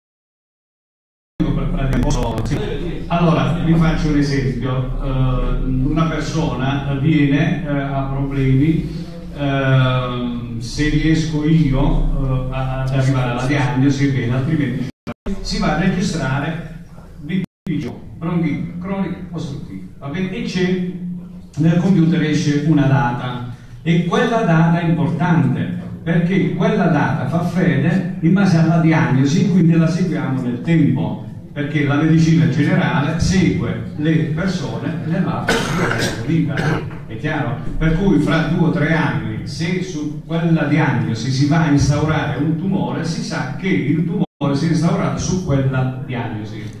D'accordo? Se poi si, nel quadratino della professione si mette che è il muratore, faccio per dire, oppure ha lavorato a Pisticci Scalo, allora si metterà in correlazione la malattia, la broncopolmonite, la BPCO, la broncopolmonite cronica ostruttiva, con il fatto che era, era muratore e quindi questo è importante.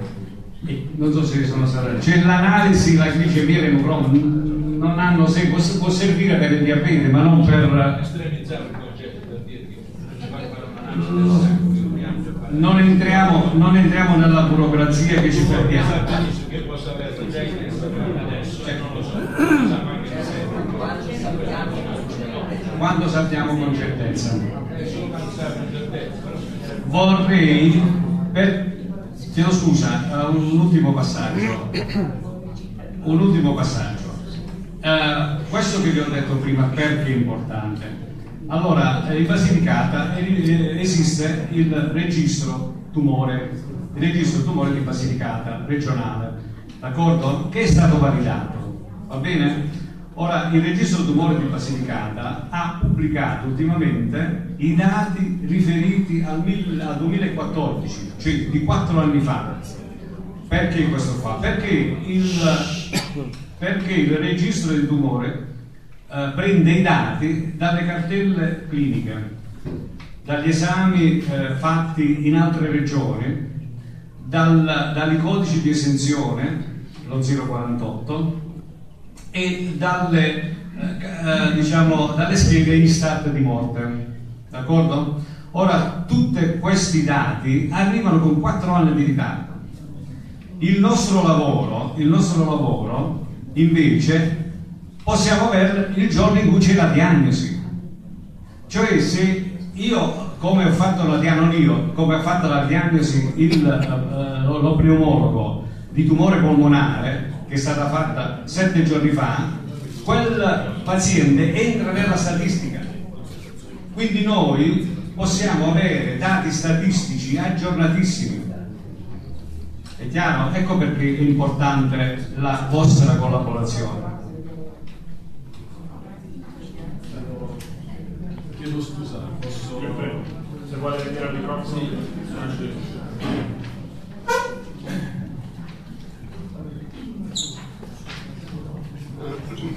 Non solo volevo intervenire perché comunque noi rappresentiamo l'amministrazione, interloquiamo con le amministrazioni, quindi quello che eh, volevo dirvi quello che sta succedendo in questo periodo.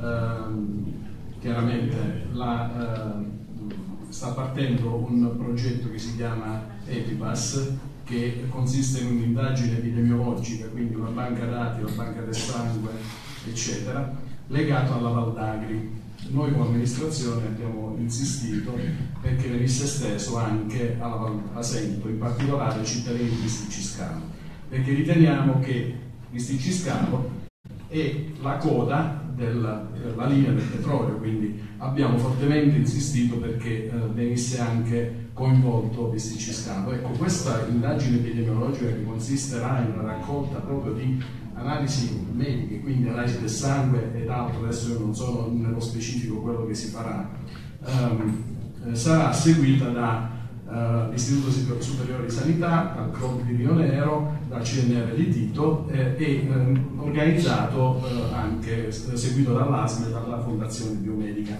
È una cosa che sta facendo la Regione Basilicata, dovrebbe iniziare a, il prossimo mese, noi abbiamo fornito tutti i dati statistici della, del, dei cittadini di Sticiscalo e l'area che riteniamo essere diciamo, coinvolta. Questo è un primo passo. Il passo successivo sarà individuare uh, lo stesso tipo di azioni non per la linea del petrolio, ma per l'area SIN. Quindi in quel caso uh, anche i lavoratori di Bisticciscalo della Valbasento saranno monitorati a livello, a livello epidemiologico, quindi con analisi uh, specifiche della, del sangue e, e di, di, altro. Questo per informazioni, insomma, sta partendo questa attività noi eh, abbiamo insistito tanto perché l'idea era solo sulla Valdagri e invece siamo riusciti ad ottenere anche l'allargamento a, ai cittadini di Bisticci Scout. Era giusto per informazione. Se posso rispondere, io questo... Ingegnere, ma lei non c'è pure Martorano, ex assessore alla salute? Io ho detto, io do, noi qua siamo amministratori, quindi dobbiamo interloquire con eh, la regione Basilicata non è che c'è un conflitto di no, interessi con il PD, visto che no, Martorano è stato nel, nel PD, questo è il nostro dubbio. A me non interessa eh, quello che è il conflitto di interesse, noi portiamo avanti, eh, portiamo avanti una cosa che è di tipo scientifico, poi ci significa fare una banca dati con quello che dicevano vogliamo una banca dati apolitica. Eh, io vi devo dire questo poi... se nel centro di fondazioni biomediche è presente un membro della politica che ci ha rovinato per tanti anni il dubbio ci esiste Scusate, vi, vi, interrompo semplicemente perché vabbè, la, la discussione stava un po'. Non volevo, non volevo interrompere nessuno. C'è il dottor Casalini di Oxford che è con noi da tutto il pomeriggio e ci sta facendo veramente un grande favore. Eh, gli darei la parola, un intervento anche breve e poi passiamo magari verso la conclusione.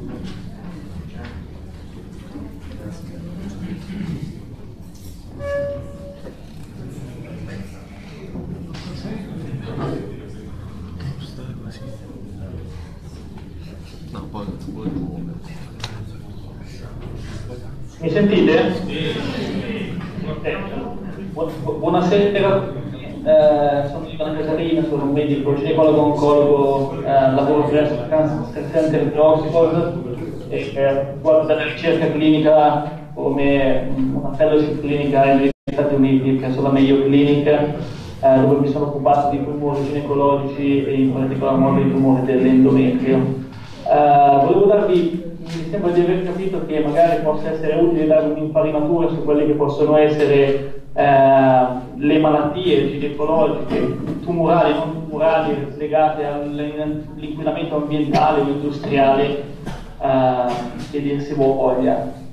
Eh, come diceva eh, in precedenza eh, Don Palmiro Presutto, eh, eh, che stimo in maniera importante, ehm, eh, le patologie legate all'inquinamento ambientale industriale non sono solamente patologie tumorali. Per quanto riguarda l'aspetto ginecologico, sì, sono stati riscontrati degli incrementi di tumori dell'ovaio eh, in zone limitrofe a, aree ad alto eh, inquinamento ambientale, sia per quanto riguarda inquinamento dell'acqua sia per quanto riguarda inquinamento aereo, anche se è difficile riscontrare una significatività statistica da questo punto di vista. Sicuramente dal punto di vista ostetrico um, la, l'evidenza è più chiara, malformazioni fetali, malformazioni legate all'embriogenesi, quindi eh, nella, che tengono in considerazione il primo periodo della gravidanza eh, sono state associate eh, ad un inquinamento industriale ed ambientale. Eh, non solo, ma anche aborti spontanei e ad interruzioni volontarie di gravidanza. Questo perché? Perché l'aumento dell'interruzione, eh, della richiesta di interruzione di gravidanza spesso è legata ad una malformazione diagnosticata in epoca precoce, quindi eh, si è vista una um, correlazione appunto tra agente inquinante e questa richiesta. Uh, patologie benigne ginecologiche eh, come endometriosi, come la presenza di eh, fibromatosi uterina o miomi eh, sono stati riscontrati essere in aumento in zone fortemente inquinate Ehm, ma fondamentalmente eh, dal, per quanto riguarda l'aspetto ginecologico direi che eh, più che altro, eh, come diceva Don eh, Risutto, è più che altro eh, l'aspetto legato alla gravidanza, quello che mi, pre- mi eh, premerebbe spingere. È importante valutare non solamente eh, il tipo di agente inquinante, ma anche la tempistica con la quale si è stato in contatto con questo agente inquinante e anche eh, la, la, la, connessione temporale tra l'esposizione e eh, l'insorgenza della gravidanza. E inoltre è importante sottolineare come sono state riscontrate anche delle problematiche di tipo uh, di fertilità, in particolar modo fertilità, infertilità di tipo maschile, eh, correlato a questo tipo di ehm, eh, inquinamento industriale.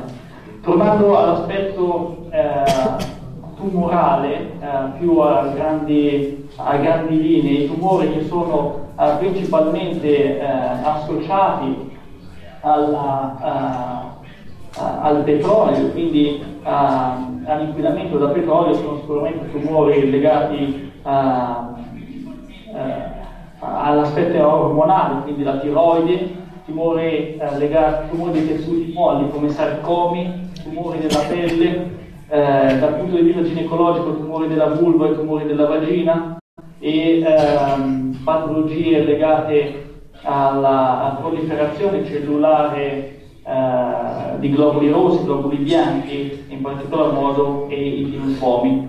questo era più che altro per dare una sorta di infarinatura su quelle che possono essere le malattie da andare a ricercare. Generalmente eh, gli studi vengono effettuati sul tumore della mammella perché è il tumore più frequente, sono stati riscontrati anche degli aumenti per quanto riguarda il tumore della mammella della prostata nell'uomo uh, e ovviamente il, il tumore uh, al polmone eh, ne risente eh, in maniera primaria.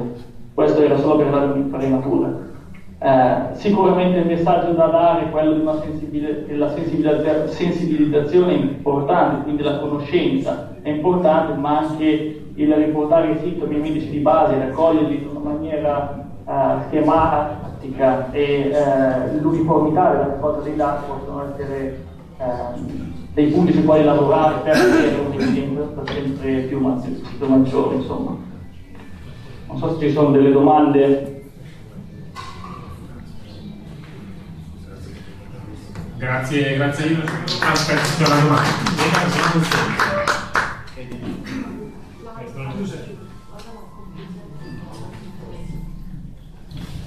Allora, sono l'avvocato Giorgio Medico Elisa, per conto di tanti amici qui presenti, amici coraggiosi, perché non si fanno le battaglie ambientali senza coraggio o stando seduti in poltrona.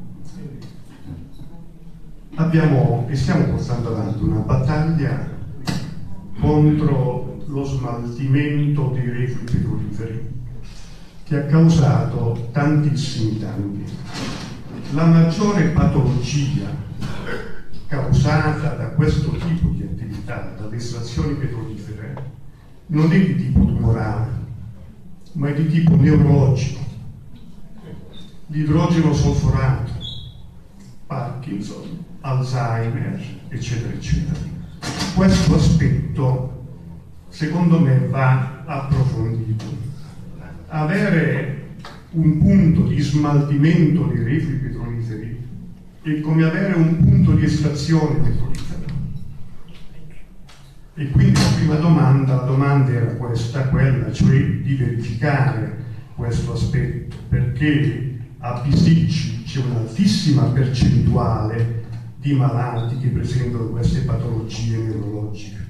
E quindi più che concentrarsi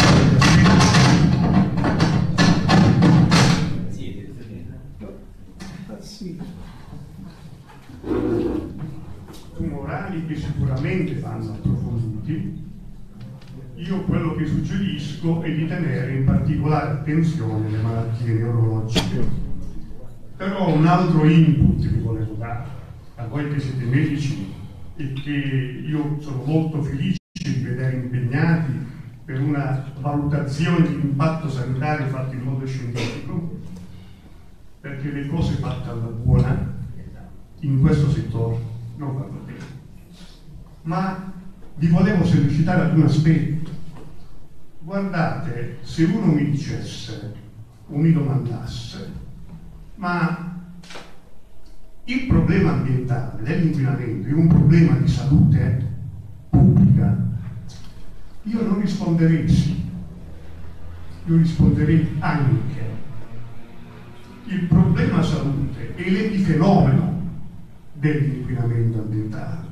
Noi purtroppo in Basilicata, ed eravamo una regione dove si viveva veramente bene a livello di salute, oggi siamo diventati forse, almeno in alcune zone, una regione molto inquinata. Ma l'inquinamento più grave è l'inquinamento istituzionale. Voi medici, hai voglia di staccarvi la testa vicino al muro. Se le istituzioni non funzionano, Posso solo una cosa? Prego. C'è l'altro microfono. Infatti, perfetto, quello che volevo dire prima.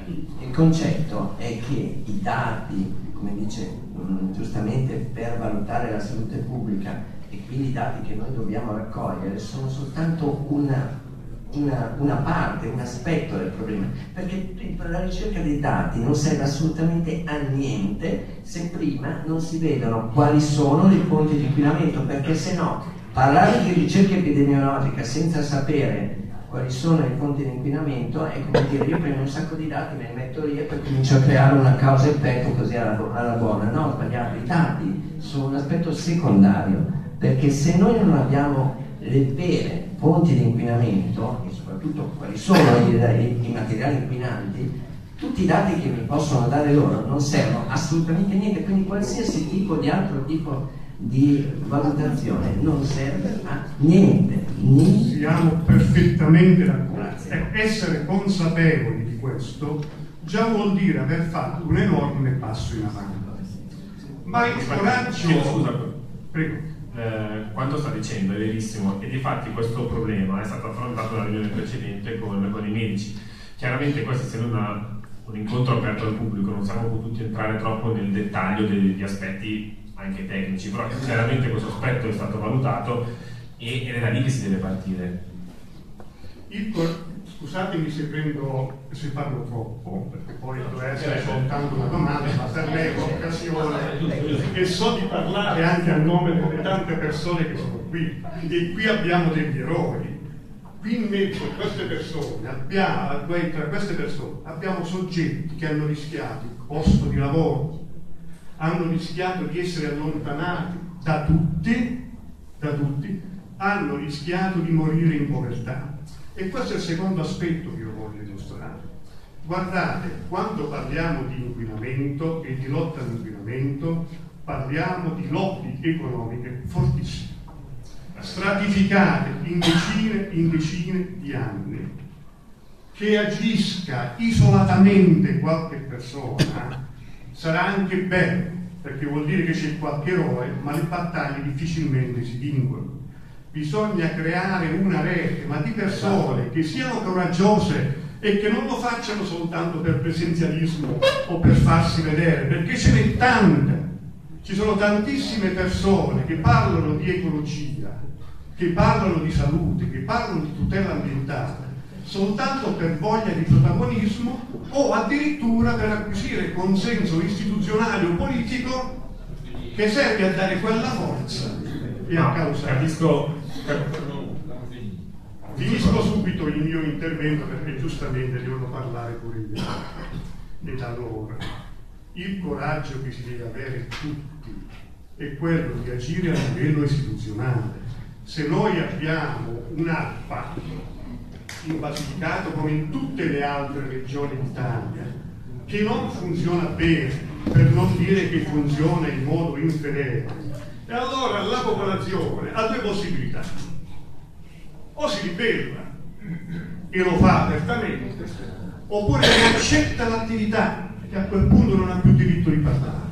Per questo dicevo, l'apporto che devono dare i cittadini è un apporto globale che inizi dalle istituzioni, che passi alla politica, all'economia e che poi arrivi alla medicina. Eh, però è esattamente quello che sta succedendo. Io da, da pochi mesi che frequento la Basilicata e già dalla prima volta che siamo venuti qui ho visto che qualcosa sta muovendo, qualcosa è nato. La prima sera c'erano poche persone qui dentro quando siamo venuti. Da quella sera è nato il movimento Tutela dall'Albasento, che sono questi ragazzi di Bisticci che anche loro sono degli eroi, perché anche loro si sono messi insieme, hanno messo insieme tutto e hanno creato loro questa serata. Grazie al loro impegno siamo riusciti a contattare un professore di Filadelfia, un professore di Oxford, un professore di Tor Vergata, i medici si sono messi tutti insieme per eh, arginare questo problema, comunque per affrontare questo problema. Quindi mi sembra che qualcosa si stia muovendo sia nato proprio da qui. Allora, ci sono... Sì, sì, sto pensando. No, no, è via, è via, è ancora alla mano e anche poi c'è anche Io non so di uso il palmare perché vengo da una generazione di computer molto familiari, ma uso il palmare, funziona meglio. Ingegnere Giuseppe Cancellieri, uno di quelli che insieme a Di Bello, a Racolella e ad altri hanno pagato, stanno pagando, pagheranno probabilmente ancora di più un prezzo altissimo.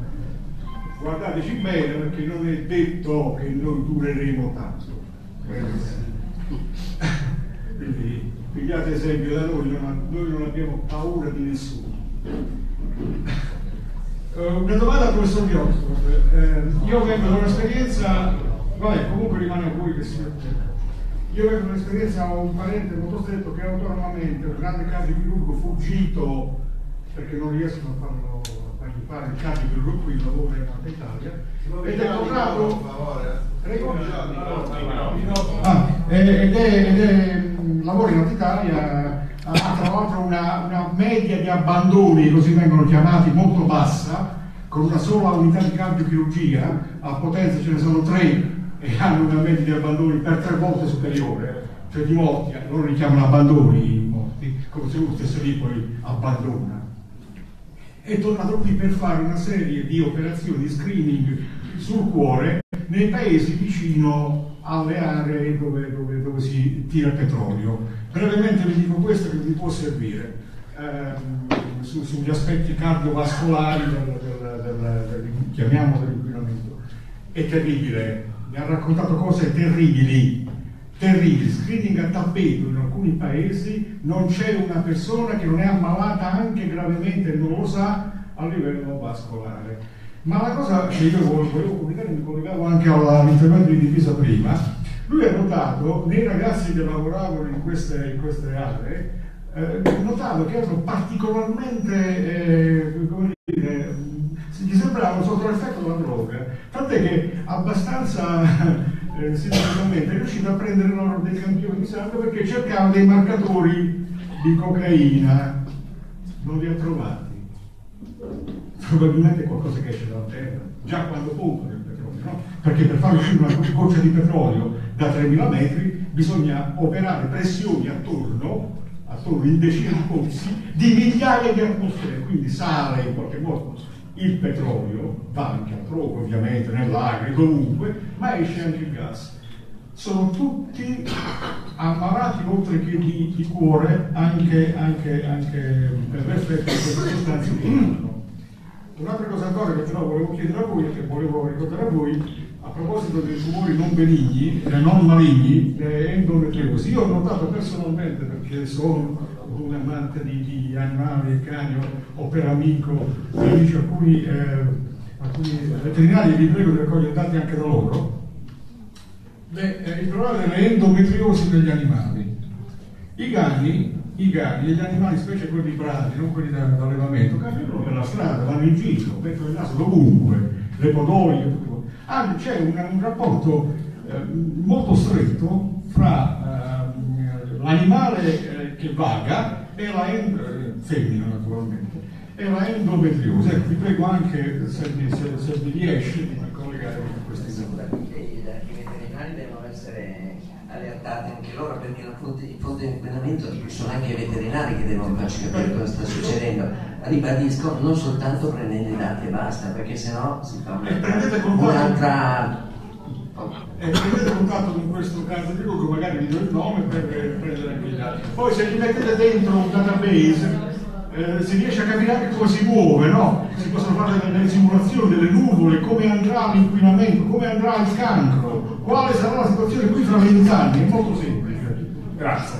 Grazie Adesso prima di, di proseguire con, con, le domande, volevo chiedere a Don Palmiro e all'Avvocato Lanese se volevano fare un, un saluto finale eh, e un'analisi magari della se mi consente solo 10 secondi per rendere anche utile a livello pratico questo incontro. Questo no, proseguiamo, era soltanto perché sono connessi e ah, fare un saluto, perché magari. Cosa hai riscontrato? Cosa hai riscontrato in questa serata? Se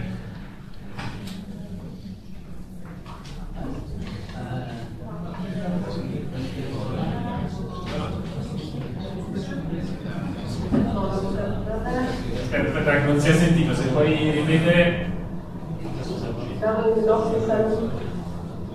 Conclusivi, eh, l'avvocato da me come ho, eh, vi ringrazio del, veramente costruttivo e, e spero, spero fuoriarviamo ecco, inizio un percorso molto interessante e a questo eh, non posso non, eh, come dire, trascurare la circostanza del tutto fortuita che oggi, esattamente oggi, quindi il 17 marzo di molti anni fa, mi trovavo in volo da Pavia perché oggi ricorre la, l'anniversario della morte di mio padre, moriva esattamente oggi, diversi anni fa, al San Matteo di Pavia.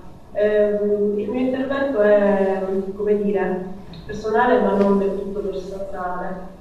Mio padre moriva di una, di una forma di, di cancro, di una forma tumorale che era strettamente connessa al suo lavoro. Eh, lavorava all'interno del petrolchimico, lavorava per la ESSO e la sua esposizione prolungata negli anni eh, purtroppo ha ingenerato questo, questa patologia, soffriva di una leucemia eh, e di questo è morto. Prima che morisse mh, mm, abbiamo incardinato una procedura eh, tipo come dire, infortunistica, è stato riconosciuto dal, dal la malattia professionale legata proprio all'esposizione che mio padre ha subito e tratta negli anni benzene, ai vapori aromatici, le sostanze che derivano da quell'impianto che ancora insiste nel territorio insieme a tanti altri.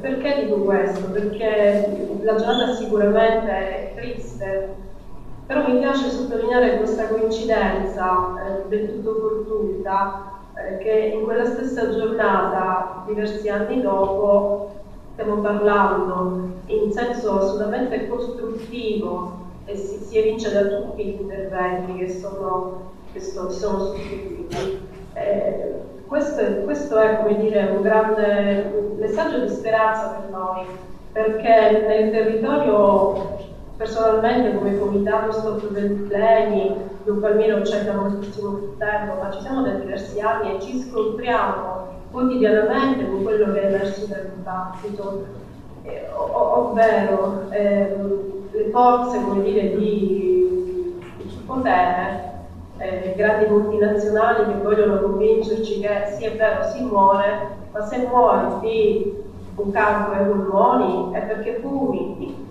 è perché non mangi bene, è perché stai nel traffico.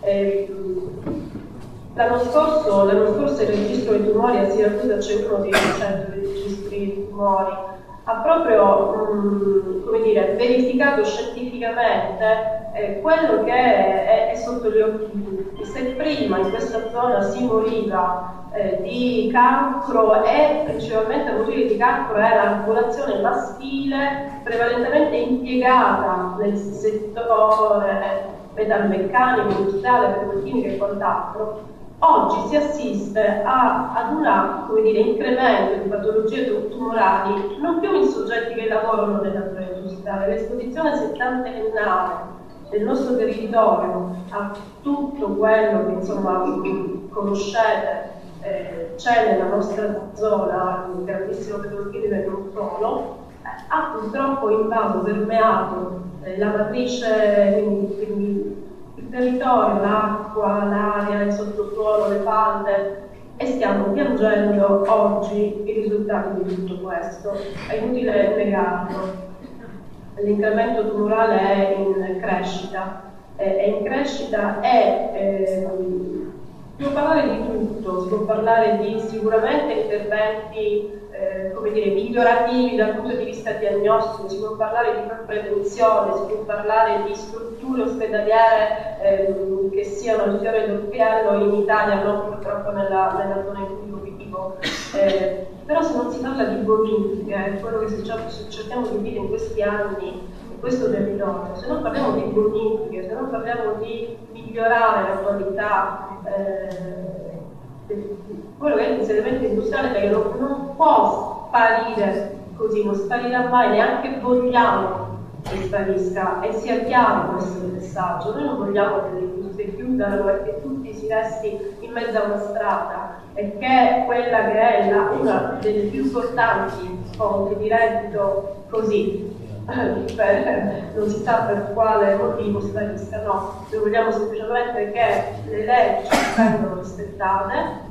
In questo senso avrete letto l'anno scorso come è intervenuta la, la procura di Siracusa, il procuratore Giordano ha emesso nei confronti di due dei più grandi eh, come dire, poli, quindi Lucoil ed Esso, eh, dei sequestri preventivi, perché sulla scorta di quelle che erano le denunce e le, come dire, le lamentele che sono pervenute in procura della, della, della gente negli anni, è riuscita a riscontrare proprio quello di cui noi ci, ci, ci lamentiamo, ovvero che eh, non sono rispettate le prescrizioni.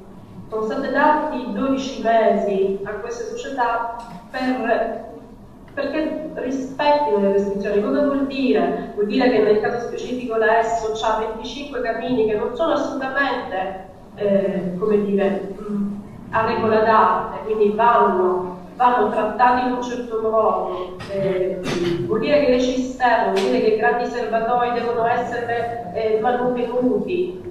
Vedete, la cosa che volevo, in questo poi vi saluto e vi, vi, ringrazio veramente per averci eh, invitati. La cosa che noi diciamo, noi diciamo a Siracusa non, non ti può pace, nel senso che non riesce a digerire veramente, e tutte le volte in cui io penso che quando fu insediato, il primo insediamento in Bruxelles degli anni 50, proprio la ESSO, che mantenne un vecchio impianto dal Texas e lo rimonta di seconda mano da noi. E da lì parte quello che 70 anni è stato insediamento industriale, ma già lì, quando in America, quando in America si scopriva la coscienza ambientale, perché già là si piangevano le vittime negli anni 50, già c'erano degli studi approfonditi su quello che era veramente il grosso colpo che sarebbe derivato da questo insediamento industriale, ecco lì nasceva la coscienza ambientalista, quindi lì nasceva eh, come dire, eh, il, il diritto dell'ambiente e qui invece iniziava la colonizzazione, io, la colonizzazione industriale che oggi e ancora per decenni ci farà piangere gli effetti di questa grande, come dire, del progresso.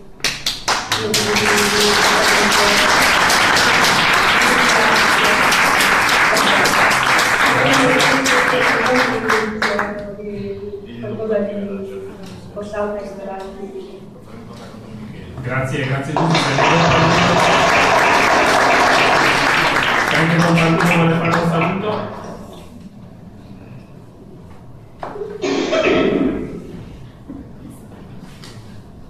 Don Palmino vuole fare un saluto? Sì, io volevo concludere scusate, dicendo un'altra cosa. Mille nomi censiti sicuramente non sono tanti, ma sono come una sorta di expo come si fa le elezioni. Ho notato che mettono alcune cose interessanti. Io ho annotato il nome e cognome della persona deceduta, il tipo di cancro, l'età, l'attività lavorativa. Da questo emerge che un terzo delle persone iscritte in quella lista sono decedute per tumore polmonare. E questo la dice. Poi ho fatto anche l'elenco per età. La cosa che veramente mi ha sconvolto è stata quella di scoprire che più della metà di quelli iscritti nella lista hanno meno di 67 anni. Perché dico 67 anni? Perché una legge che in Italia è stata approvata è quella di calcolare la durata media della vita. Allora questo significa che quando abitate su due non avete la metà della medicina. Allora, io mi sto facendo promotore di un disegno di legge di iniziativa popolare che faccia equiparare gli abitanti delle aree SIN a coloro che svolgono lavori gravosi e usuranti perché questa gente ha diritto, dopo aver lavorato una vita, a godersi almeno qualche anno di pensione e di godersi i nipoti la famiglia. Cosa che purtroppo non. Grazie.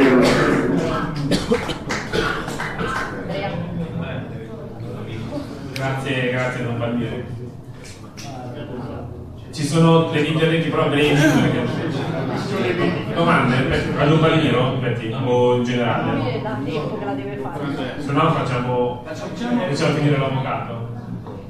Prego. Sì, molto velocemente, molto velocemente per dare subito spazio agli altri. Però io amo le cose operative, perché se restiamo, subito una questione operativa.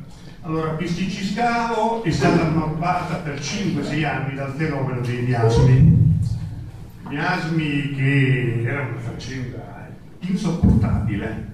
Già si sapeva che erano l'effetto dell'idrogeno solforato, ma hanno trattato l'idrogeno solforato come se fosse una questione non pericolosa.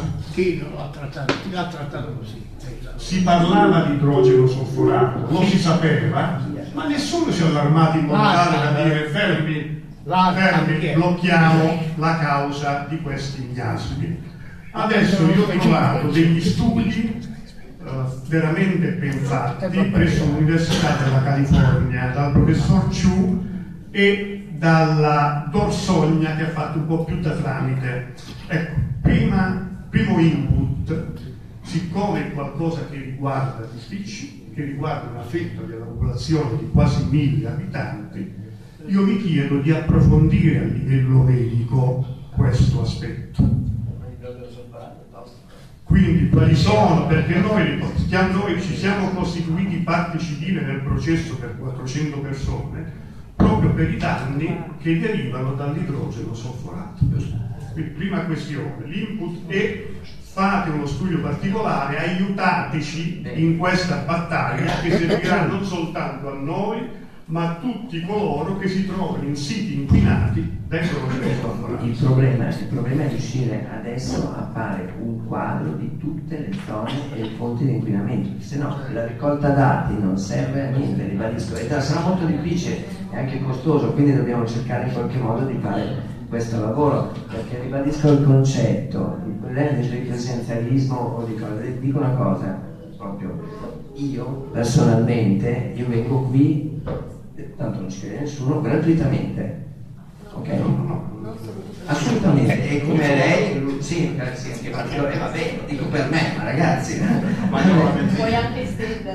anche a te, eh, va bene, ok, ci siamo tutti. Questo è, se, ci creda, veramente, ok? E sono molto contento oggi, sa perché? Perché io sono venuto qui tre mesi fa e ho visto 20 persone qui. Adesso vedere tutta questa gente per me mi riempie il cuore, veramente volevo dire che forse non ho perso il tempo. E soldi, basta.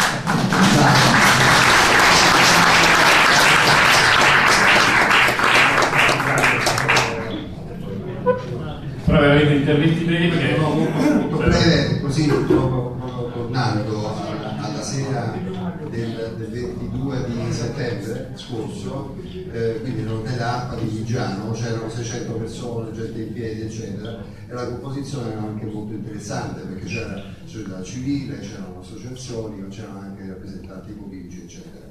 Adesso lì è, è stata una sede in cui è avvenuto qualcosa di molto importante per questo territorio, ma credo anche per territori come Augusta e diciamo l'Italia inquinata. Cioè, eh, ehm, lì ci hanno messo i soldi, ci hanno messo anche degli anni, ci hanno messo le migliori fondazioni e quant'altro.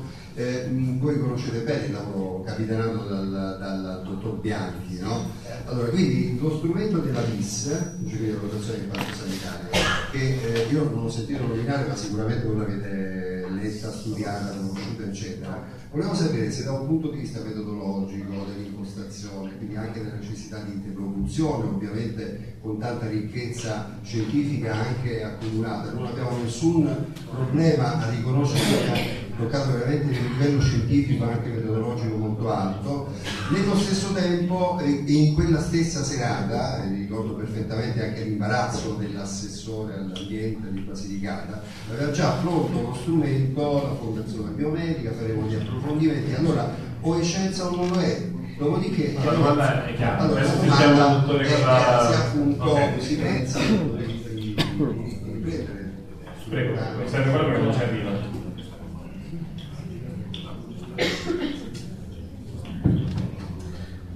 Questo, questo studio che è stato fatto uh, nei, due comuni vicini uh, è stato fatto da uh, eccellenti strutture specialistiche, um, il CNR, l'Università di Bari, per carità, niente da eccepire. I dati così due parole, sono che c'è un aumento di malattie cardiovascolari sia per uh, quanto riguarda uh, i ricoveri che per quanto riguarda le morti. C'è un aumento, sempre parlo della popolazione, di Vigiano soprattutto, uh, per quanto riguarda le morti del, dei tumori dello stomaco. Qual è il dato che viene subito fuori? come sono stati fatti queste, queste ricerche? Cioè sono stati eh, diciamo, individuati delle persone, hanno fatto delle analisi e hanno tirato le conclusioni. Ok, va benissimo, però quello che vogliamo fare noi è una eh, sorta di storia nel tempo. Che significa? Un tumore non è che sorge, uno viene a contatto con delle esalazioni, tappa arriva il tumore. Non è così perché molto spesso uh, l'elemento uh, cancerogeno determina delle mutazioni a livello uh, della cellula del nostro organismo, ma non si manifesta subito. Probabilmente l'organismo cercherà di riparare quell'alterazione genomica, però la riparazione può non essere stata efficace, per cui si può verificare il tumore a distanza di due o tre o quattro anni. Per cui lo studio, se si fa nell'arco di un anno, anche di due anni, non ha la valenza scientifica per poterci dire che in quell'ambiente ci sono degli inquinanti. Non so se sono stato chiaro. Lo studio va fatto in, in proiezione. Noi, ecco, entriamo in particolare, vedremo di recuperare i dati di circa dieci anni fa e quindi a partire da dieci anni dobbiamo capire quanti sono le persone affette, che sono state affette di tumore, quante sono rimaste in vita, quante sono morte. E questo è lo studio che bisogna... Vi faccio un altro esempio, uh, Pista Mattei, pare che ci sono degli inquinanti là sotto. Allora, a valenza maggiore, a valenza maggiore quegli inquinanti sotto la pista Mattei o i miasmi di cui si è parlato? Che cosa ha provocato quell'inquinamento e che cosa provoca il, l'idrogeno sofforato? L'epidemiologia è una materia molto molto particolare. Per dare dei dati è necessario entrare nel merito e capire la conseguenzialità.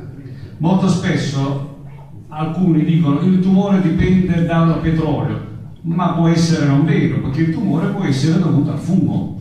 Quante persone che fumano eh, possono avere il tumore, ma l'inquinamento non c'entra. Non so, ecco, il, questi dati per riuscire a capire. Ecco, la necessità di fare un lavoro come si deve. E questi signori qua, con l'aiuto del professor Mineo, che è un epidemiologo di tutto rispetto, valuterà i dati che noi andremo a fare vedremo il professor, ecco, ancora il professor Mileno non ci ha detto da qua, quale anno vuole i dati, non ce, ce lo dirà. E, e, ci saranno altre riunioni, spero, no? Altre riunioni con la popolazione. Certo, vi diremo uh, man mano che cosa stiamo ottenendo. Grazie. Un ultimo intervento che devo fare un minuto circa perché. Posso? Prego.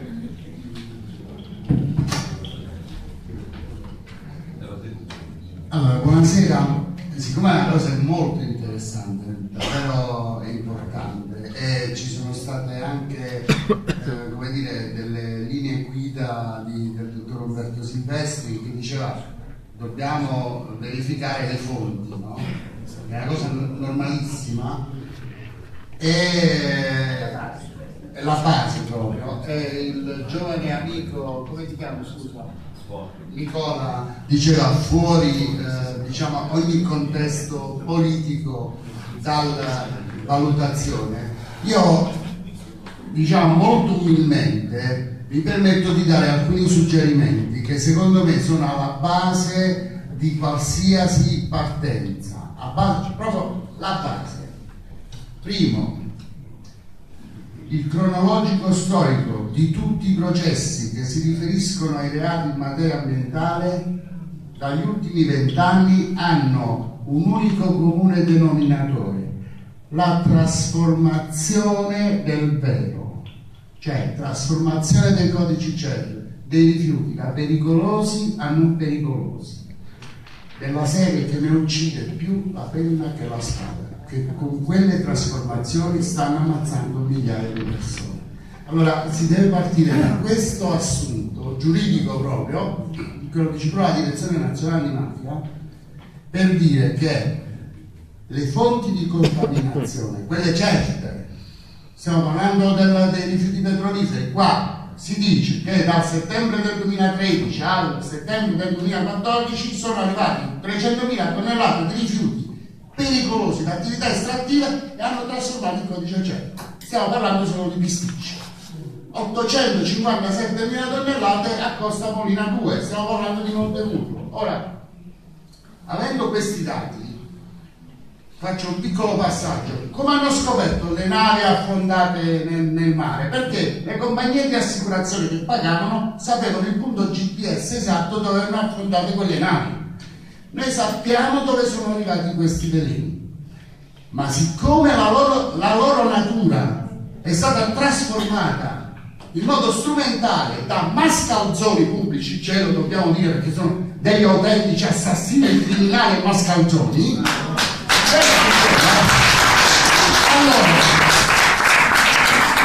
seguendo la pista che porta a Pisticci, che porta a Guardia Perticara, che porta a Montemurro, che porta a San Nicola di Metri, che porta in tutte queste fonti, noi dobbiamo fare un lavoro che deve essere scevro da ogni qualsivoglia tentazione di carattere partitico-politico. Il più notato, questa è una cosa positivissima, è il più possibile autofinanziato dai cittadini, non lo so qual è la fonte che si può trovare per farlo, perché costa un sacco di soldi fare una roba del genere. Esatto, ma eh lo so, lo so. Però purtroppo, però purtroppo noi abbiamo davanti un problema che è talmente tanto grande che io mi sento veramente dal più profondo del, del cuore di ringraziare tutti gli organizzatori, a partire dal parroco, ma la prima cosa che noi dobbiamo fare è mettere la parola stop alla truffa. Sembra il gioco delle tre carte a Piazza Garibaldi a Napoli quando devono fregare i turisti. Sempre falsi i dati, sempre falsi.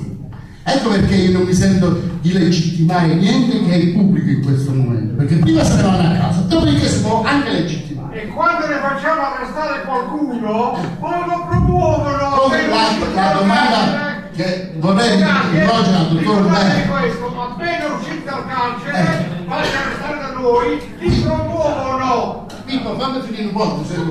Allora, a, ad Umberto, io la domanda che volevo fare, siccome lui ha detto diverse volte, no, dobbiamo sapere le fonti di contaminazione.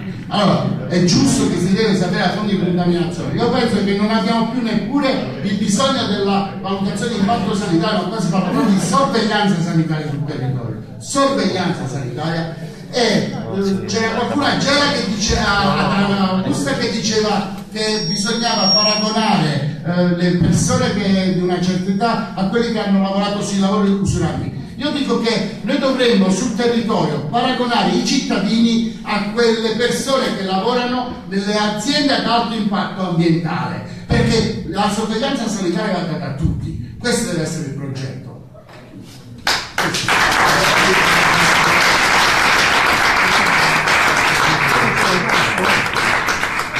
Posso? Facciamo l'ultimo intervento perché ancora solo, sono, sarò breve, dai. E ringrazio tutti perché questo qua è un momento da me veramente gradito, anche perché eh, mi, piace, mi piace combattere.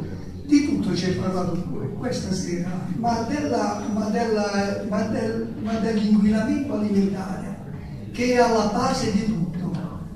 Cioè, è vero quello che si parla di aria, di acqua, di tutto. È, di- è differente, però diciamo da tenere un pochettino sotto, sotto controllo pure questo qua, perché se sul fiume, su- se su tutto il la Valfasendo continuano, eh, Sì, è la, è la catena alimentare, chiaro, sì, sì, è perfettamente ragione. Quando si parla di ponti E anche inquinamento altro, sì. E volevo dire un'altra cosa molto molto. Ma ci siamo chiesti se le tecnologie che queste imprese petrolifere usano sono, sono conformi alle normative vigenti. Quando noi parliamo, eh, quando lo Stato dà contributi al cittadino per, eh, per le caldaie a condensazione, e, e loro non fanno la condensazione di questi fluidi, di questi vapori, di queste polveri. Perché questo qua? Cosa, cosa c'è che... Già dobbiamo fare un lavoro gigantesco se lo facciamo. Se ci mettiamo anche qua è possibile. Dopo, ringrazio tutti allora, grazie. C'è qualcun altro che vuole intervenire? Allora, grazie per avermi invitato e al mio comitato di come eh, riaprire una discussione eh, su bisticci importante perché mh, purtroppo questa è una guerra della vita. Io la chiamo la guerra della vita perché poi alla fine contiamo i morti purtroppo, ma contiamo i morti per malattie e con dei costi. E i costi ricadono sulla collettività, per cui nella ricerca della vita noi dobbiamo creare quelle attività sostenibili per mantenere la vita senza farci del male. Tra noi e Augusta c'è un rapporto di storia di, contro- di continuità che abbiamo con il nostro mare, perché abbiamo le stesse correnti che dal Golfo di Taranto arrivano da Augusta, girano per la Grecia e tornano da noi. E abbiamo la Magna Grecia che ha portato la vita e la sostenibilità perché questo è un territorio ricco di acque e di risorse quelle stesse risorse sono validi anche dopo tanti anni per creare attività, progresso, sviluppo senza farci del male. La speculazione si può anche fermare, si può creare anche altre strade. Nella normativa abbiamo bisogno di una normativa a tutti i livelli, negli inquinanti, nel- nella tutela della società, perché la battaglia che adesso affrontate voi è più difficile di quella che abbiamo io quando ho detto fermiamo le trivellazioni petrolifere. Le normative ci sono, il problema è che non sono applicate. Eh, in parte, sì, però il problema nella guerra, nella guerra, nella guerra della vita è, è- cioè bisogna, bisogna impegnarsi. Per cui quando diciamo no, partendo da bisticci, altre attività inquinanti sul territorio non le dovete accettare. Grazie. Prego.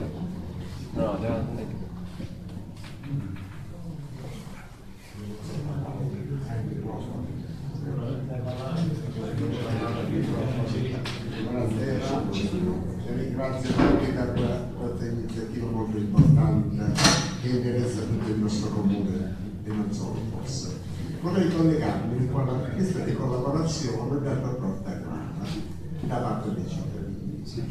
Per- eh, Ritengo che per semplificare e facilitare la richiesta, diciamo, sarebbe opportuno che, mi sembra che siano pochi dei cittadini, no, se 16 si parlava di 12 o 15, eh, 15 più 2, che eh, i medici di famiglia, eh, si riunissero in collaborazione con degli specialisti nelle varie malattie oncologiche, neurologiche, quelle che sono eventualmente dipendenti da queste cause, da questi inquinamenti, si riuniscano e formino un modulo, un modello contenendo un questionario da distribuire poi ai medici di famiglia. Chiedo, chiedo scusa, l'abbiamo fatto due ore fa, poi dopo non l'abbiamo detto, però in realtà è proprio questo che è stato fatto nella, nella riunione di... Come no? quindi, è giusto. Già fatto, quindi. Il modulo arriverà a, breve. Allora, il modello base, l'ho detto prima, il modello base ci arriverà eh, dal professor Mineo di Roma. Messineo. Si confronterà. Messineo, chiedo scusa. Eh, Il modello base su cui dobbiamo registrare i dati ci verrà proposto dal professor Mestimerio di Roma e lo dobbiamo valutare noi per dare del- degli altri dati su cui lavorare perché noi conosciamo il territorio. Comunque è stata un'intuizione giusta, quindi è, giusto quello che lei ha detto. È proprio la linea che stiamo seguendo. Grazie. Allora direi che eh, questa sera ci lasciamo con, eh, con una speranza, con una... Poi, poi passo la parola a Tom. Volevo dire che ci lasciamo con, con fiducia. Prima qualcuno parlava di eroi. Eh, io mi sono permesso di dire che anche i ragazzi che, sono- che hanno organizzato questa serata sono, sono degli eroi, perché eravamo una decina di persone che dicevamo, guardate quanti siamo, sono riusciti a fare intervenire specialisti da, da ogni parte del mondo che ringraziamo, il professor Giordano oggi è intervenuto da, da Miami, il professor Messini è intervenuto da Roma, il professor Casalini è intervenuto da Oxford, i medici di base sono riuniti sotto, possiamo dirlo, sotto l'impulso di, di famiglia, sono intervenuti anche sotto l'impulso di questi ragazzi. Da Augusta sono intervenuti Don Palmiro, l'avvocato Nanello, il loro gruppo che salutiamo ancora, quindi direi che è una serata da cui è nata una coscienza e che possiamo proseguire con la consapevolezza che siamo sulla, sulla strada giusta. La strada sarà ancora lunga, però insieme ce la faremo. Prima il, il dottore chiedeva se torneremo e lo confermo già adesso, noi torneremo per fare altre, altre riunioni molto volentieri, anche perché a Pisti ci siamo sempre trovati bene, quindi torneremo con, con grande piacere e vi ringrazio per questa serata. Prima di, eh, di lasciarvi andare, cedo la, la parola a Don Michele che ringrazio per, per l'opportunità e gli chiedo di fare un, un saluto finale. Il saluto è ancora una volta un ringraziamento, vorrei anche salutare e ringraziare le 1900 persone che in queste 2 ore e 15 e 43 secondi hanno visualizzato eh, il nostro, programma.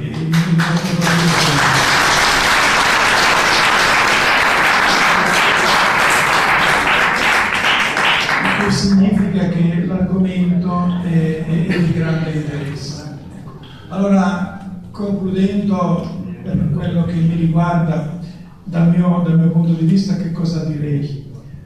Allora, primo, è necessario ecco, che, come già stanno facendo, si sviluppi un protocollo di ricerca scientificamente ineccepibile, che tenga conto di tutto ciò che è necessario anche per avviare eventualmente battaglie legali. Noi stiamo eh, sfidando poteri molto forti. Credo che non è un mistero, insomma, ecco, basta guardare i dati, eh, basta ricercare per capire che in Italia l'ecomafia è nata quando è stato istituito il Ministero dell'Ambiente. E questo basta per capire tutto. In questi giorni noi vediamo quello che accade in Slovenia e vediamo che c'è un, un- un governo in crisi per infiltrazioni mafiose, per infiltrazioni dell'andrangheta. E questo ci basta per fare tante considerazioni. Ognuno ha un cervello, ecco, non ha bisogno che i, i temi li sviluppino gli altri un cervello e un'intelligenza per indagare, per ricercare, per capire. E allora, ripeto, è necessario ecco, che sia sviluppato un protocollo scientifico di ricerca ineccepibile, tanto per la raccolta dei dati quanto per la conoscenza dei problemi. È necessario anche determinare le aree di ricerca le aree di ricerca e anche determinare, ehm, anche avere chiare le finalità da perseguire. Perché ecco, mh, prima di, eh, di muoverci, prima di muoversi a 360 gradi, forse è bene cominciare a muoversi a 45, forse poi a 90 e poi andando avanti. Cerchiamo di raggiungere gli obiettivi sensibili più importanti più evidenti e più certi. Questo è uno degli incontri, non è l'ultimo eh, né il penultimo, ma è uno dei tanti incontri di aggiornamento perché dobbiamo sempre cercare di essere in relazione e sensibilizzare il più possibile in questo campo. Oggi 10 medici del nostro territorio e gli altri, alcuni degli altri erano assenti non per negligenza, ma per ragioni, qualcuno di salute e qualcuno impegni di altro genere. Dieci medici, dieci medici si sono eh, interrogati ecco, e hanno messo in moto la loro coscienza che noi già conosciamo, essere molto sensibile nei confronti ecco, della sofferenza eh, dell'uomo. E ovviamente noi dobbiamo camminare con le nostre gambe e il nostro lavoro non lo devono fare altri, lo dobbiamo fare noi. C'è un lavoro che faranno le istituzioni, il lavoro che faranno ehm, gli organi costituiti dai vari governi a vari livelli, ma noi dobbiamo camminare con le nostre gambe e non dobbiamo, ecco, senza essere diffidenti, però non dobbiamo ecco, eh, abdicare ecco, in maniera eh, così un po', un po ingenua. Ecco. Abitualmente, ecco, quando gli organi di potere forte, ecco, che riescono a governare e arrivare ovunque, gli organi di potere forte vogliono depistare o mettere un coperchio, fanno una cosa molto semplice, costituiscono il loro, il loro, le loro iniziative perché ecco, eh, l'oggetto di ricerca magari venga, venga sottratto. Allora, eh, dobbiamo noi camminare con le nostre gambe, con grande fiducia, siamo contenti, oggi ho sentito l'assessore stasera che ha detto che il comune e l'amministrazione si è resa promotrice di una, di una ricerca eh, chiedendo e ottenendo che quello che si fa nella Val d'Agri venga fatto anche in Barbasento e questo è molto bello, molto interessante e siamo molto contenti ecco, di, questa, di, questa, comunicazione, ecco, ma questo è un lavoro che è parallelo a quello che noi eh, dovremmo portare avanti, dovremmo portare a compimento con il nostro percorso. Non è sostitutivo e non è alternativo. Ecco, lavoriamo tutti per la stessa causa e allora ognuno nel proprio settore deve mettere in campo tutto quello che può e tutto quello che deve fare. Nessuno di noi è nemico dell'altro. Chi di noi ha interesse a distruggere la casa dei suoi figli? Chi di noi ha interesse a fare questo? E chi di noi può andare a letto la sera con un grande peso sulla coscienza? La mia disonestà ha fatto piangere uno. Ecco, questa gente non manca, ma sicuramente non è tra noi. E quindi dobbiamo lavorare tutti con, con, con, con gli, stessi, gli, stessi, obiettivi in modo eh, alternativo, non, non, non sostitutivo ecco, e non in campo. Ecco. Poi ehm, chi parlava della pista Mattei? Il dottore Ferrara. Ecco. Vedete, io l'ho detto tante volte e continuo a dirlo, allora, se voi volete capire quello che è accaduto a Pisticci, non dovete fare grandi sforzi.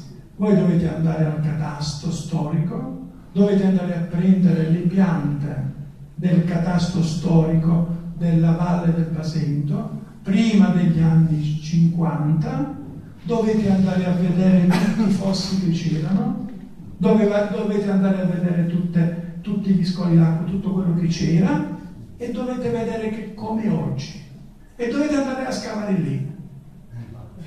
Dovete andare a scavare lì. Non ci vuole molto. Non ci vuole molto. E se cominciate a chiedere a qualche anziano che ha lavorato da quelle parti e a qualche parente superstite, vi racconta tutto quello che hanno portato. Vi racconta tutto quello che hanno portato. E quello che stanno portando, quello che hanno portato. Noi faremo la nostra parte. Noi a Pesticci siamo un popolo un po' particolare. Eh, se cominciano a toccarci troppo, eh, poi sono guai.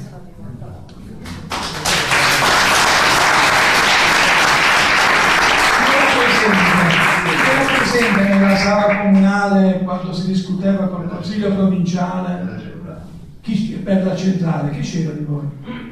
Beh, vi ricordate? Ve lo ricordate? Sì. Era un naturale dottor eh. Quindi noi poi insomma ragioniamo, ma sappiamo anche ragionare in modo forte.